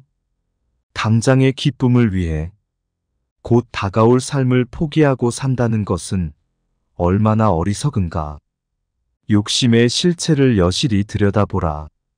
욕심에 얽매여 있는 나의 모습을 한 발자국 뒤에서 전체적으로 지켜보라. 과연 나는 어떤 욕심에 빠져 있는가? 똥덩이 같고 밑빠진 그릇 같으며 독사와 같고 원수와 같으며 물거품처럼 허망하여 견고하지 못한 욕심에 실체를 확연히 보아야 한다. 그러지 않으면 욕심에 덫에 걸리고 만다. 그렇다고 욕심을 없애버리려고 애쓸 필요는 없다. 욕망과의 전쟁을 선포하는 것은 욕망을 다루는 지혜로운 방법이 아니다. 욕망은 싸워서 이겨야 할 대상이 아니라 그 전 과정을 깨어있는 관찰로서 온전히 이해해야 할 어떤 것이다. 욕망을 전체적으로 이해했을 때 그 이면에 잠재되어 있는 혀를 베는 칼날의 의미를 바로 볼 수 있다. 나에게는 어떤 욕심이 일어나고 머물다가 사라지고 있는가? 마음이 탐욕을 벗어나지 못하기 때문에 무거운 짐을 지게 된다. 우리가 짊어지고 있는 가장 무거운 짐이 탐욕의 짐이다. 탐욕의 짐은 짊어지는 만큼 병이 되고 벗어버리는 만큼 즐거움이 된다. 길을 걷는 나그네에게 짐이 많다면 그 길은 멀고도 험난하다. 인생의 길을 걷고 있는 우리들도 짐이 없어야 허젓하고 가벼운 여행을 즐길 수 있다. 지혜로운 이는 삶의 길 위에서 항상 무거운 짐을 버리고 버리며 살지만 어리석은 이는 항상 새 짐을 만들고 쌓고 또 쌓기에 여념이 없다. 태어나서 죽을 때까지 짐을 늘리려고 애쓰며 사는 것이 사람들의 모습이다. 가진 짐이 많으면 부유하고 행복하며 자랑스럽지만 가진 짐이 없을수록 부족하고 가난하며 부끄럽다고 여긴다. 그러나 참된 공덕은 짐이 없어 가벼운 삶에 있다. 인류의 모든 성인들은 공통적으로 가난하여 짐이 없었고 그렇게 삶이라는 여행길은 가볍고도 자유롭게 길을 걸을 수 있었다. 이 세상에서 보면 짐이 많은 사람이 부자이고 짐이 없는 사람이 가난한 것 같지만 이 세상을 떠날 때에는 짐이 많은 사람이 가난하고 짐이 없을수록 부자가 되어 떠난다. 내 탐욕의 짐은 얼마인가? 이미 쌓아놓은 짐과 쌓기 위해 발버둥 치는 짐은 과연 얼마인가? 그 모든 짐을 내려놓고 홀가분하게 가라. 즐거움은 곧 고통이다. 탐욕은 괴로움이다. 탐욕을 채우는 데에서 오는 즐거움 또한 결국 고통이 되고 만다. 탐욕을 채우려고 하면 할수록 더욱 더 탐욕은 커진다. 만족은 잠시일 뿐 이윽고 또 다른 탐욕이 생겨난다. 우리의 삶을 가만히 살펴보면 죽을 때까지 오직 탐욕을 채우기에만 여념이 없지 않은가. 많은 이들이 탐욕을 채웠을 때 오는 잠시 행복이 참된 행복인 줄 착각하고 산다. 탐욕을 채우기 위해 온갖 악행과 기만을 서슴지 않고 수단과 방법을 가리지 않고 탐욕을 채워나간다. 나의 탐욕을 채우기 위해 상대방을 짓누르고 밟고 일어서는 것은 당연한 일이 된다. 아니, 당연한 정도가 아니라 능력 있고 훌륭한 사람으로 인정받는다. 그래서 슬프다. 이 세상도 슬프고 탐욕에 물든 사람들도 슬프다. 탐욕이란 사람을 눈멀게 하고 온전한 만족에서 멀어지게 하며 영적인 성숙과 이별하게 만든다. 모든 괴로움의 원인은 탐욕이다. 탐욕이 없으면 괴로움도 없다. 그렇다고 탐욕을 끊기 위해 탐욕을 미워하고 증오할 필요는 없다. 탐욕에 대한 그 어떤 분별도 버려야 한다. 탐욕 그 자체는 좋거나 나쁜 어떤 실체적인 것이 아니라 다만 인연 따라 자연스럽게 생겨나는 중립적이고 비실체적인 것이다. 탐욕을 없애려고 애쓰지 말고 좋아하거나 싫어하지도 말고 어떻게 생겨나고 어떻게 머물렀다가 어떤 일들을 만들어내고 또 어떻게 사라지는가를 그냥 알아차리고 지켜보기만 하라. 그랬을 때 전체적인 탐욕에 대한 지혜가 생기고 지혜의 빛은 곧 탐욕을 사랑으로 불태운다. 행하면서 동시에 버려라. 참으로 수행을 잘하는 사람은 스스로 수행을 잘하는 것을 모른다. 국자가 국맛을 모르듯 산정에 든 사람은 산정에 든 것을 잊으며 적정에 든 사람은 적정에 든 것을 모른다.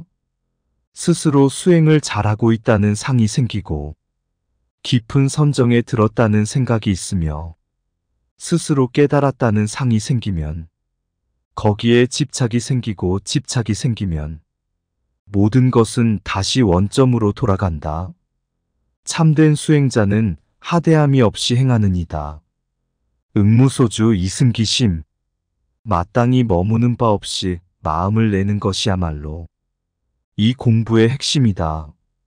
참된 진리는 그 진리 자체에도 집착하지 않고 참된 선정은 그 선정에 집착하지 않는다. 자신의 수행력을, 포교력을, 많은 공부에 이력을 들추면서 자랑 삼아 말하는 이들은 자신의 어리석음을 드러내고 있을 뿐이다. 삶을 살아가면서 수많은 선행을 하고 보시를 하고 수행을 하고 좋은 일을 하지만 그 모든 것을 하고 나서는 반드시 잊어버려라. 놓아버려라. 놓아버리는 순간 그것은 보석처럼 빛나지만 드러내는 순간 그 빛은 사라지고 만다.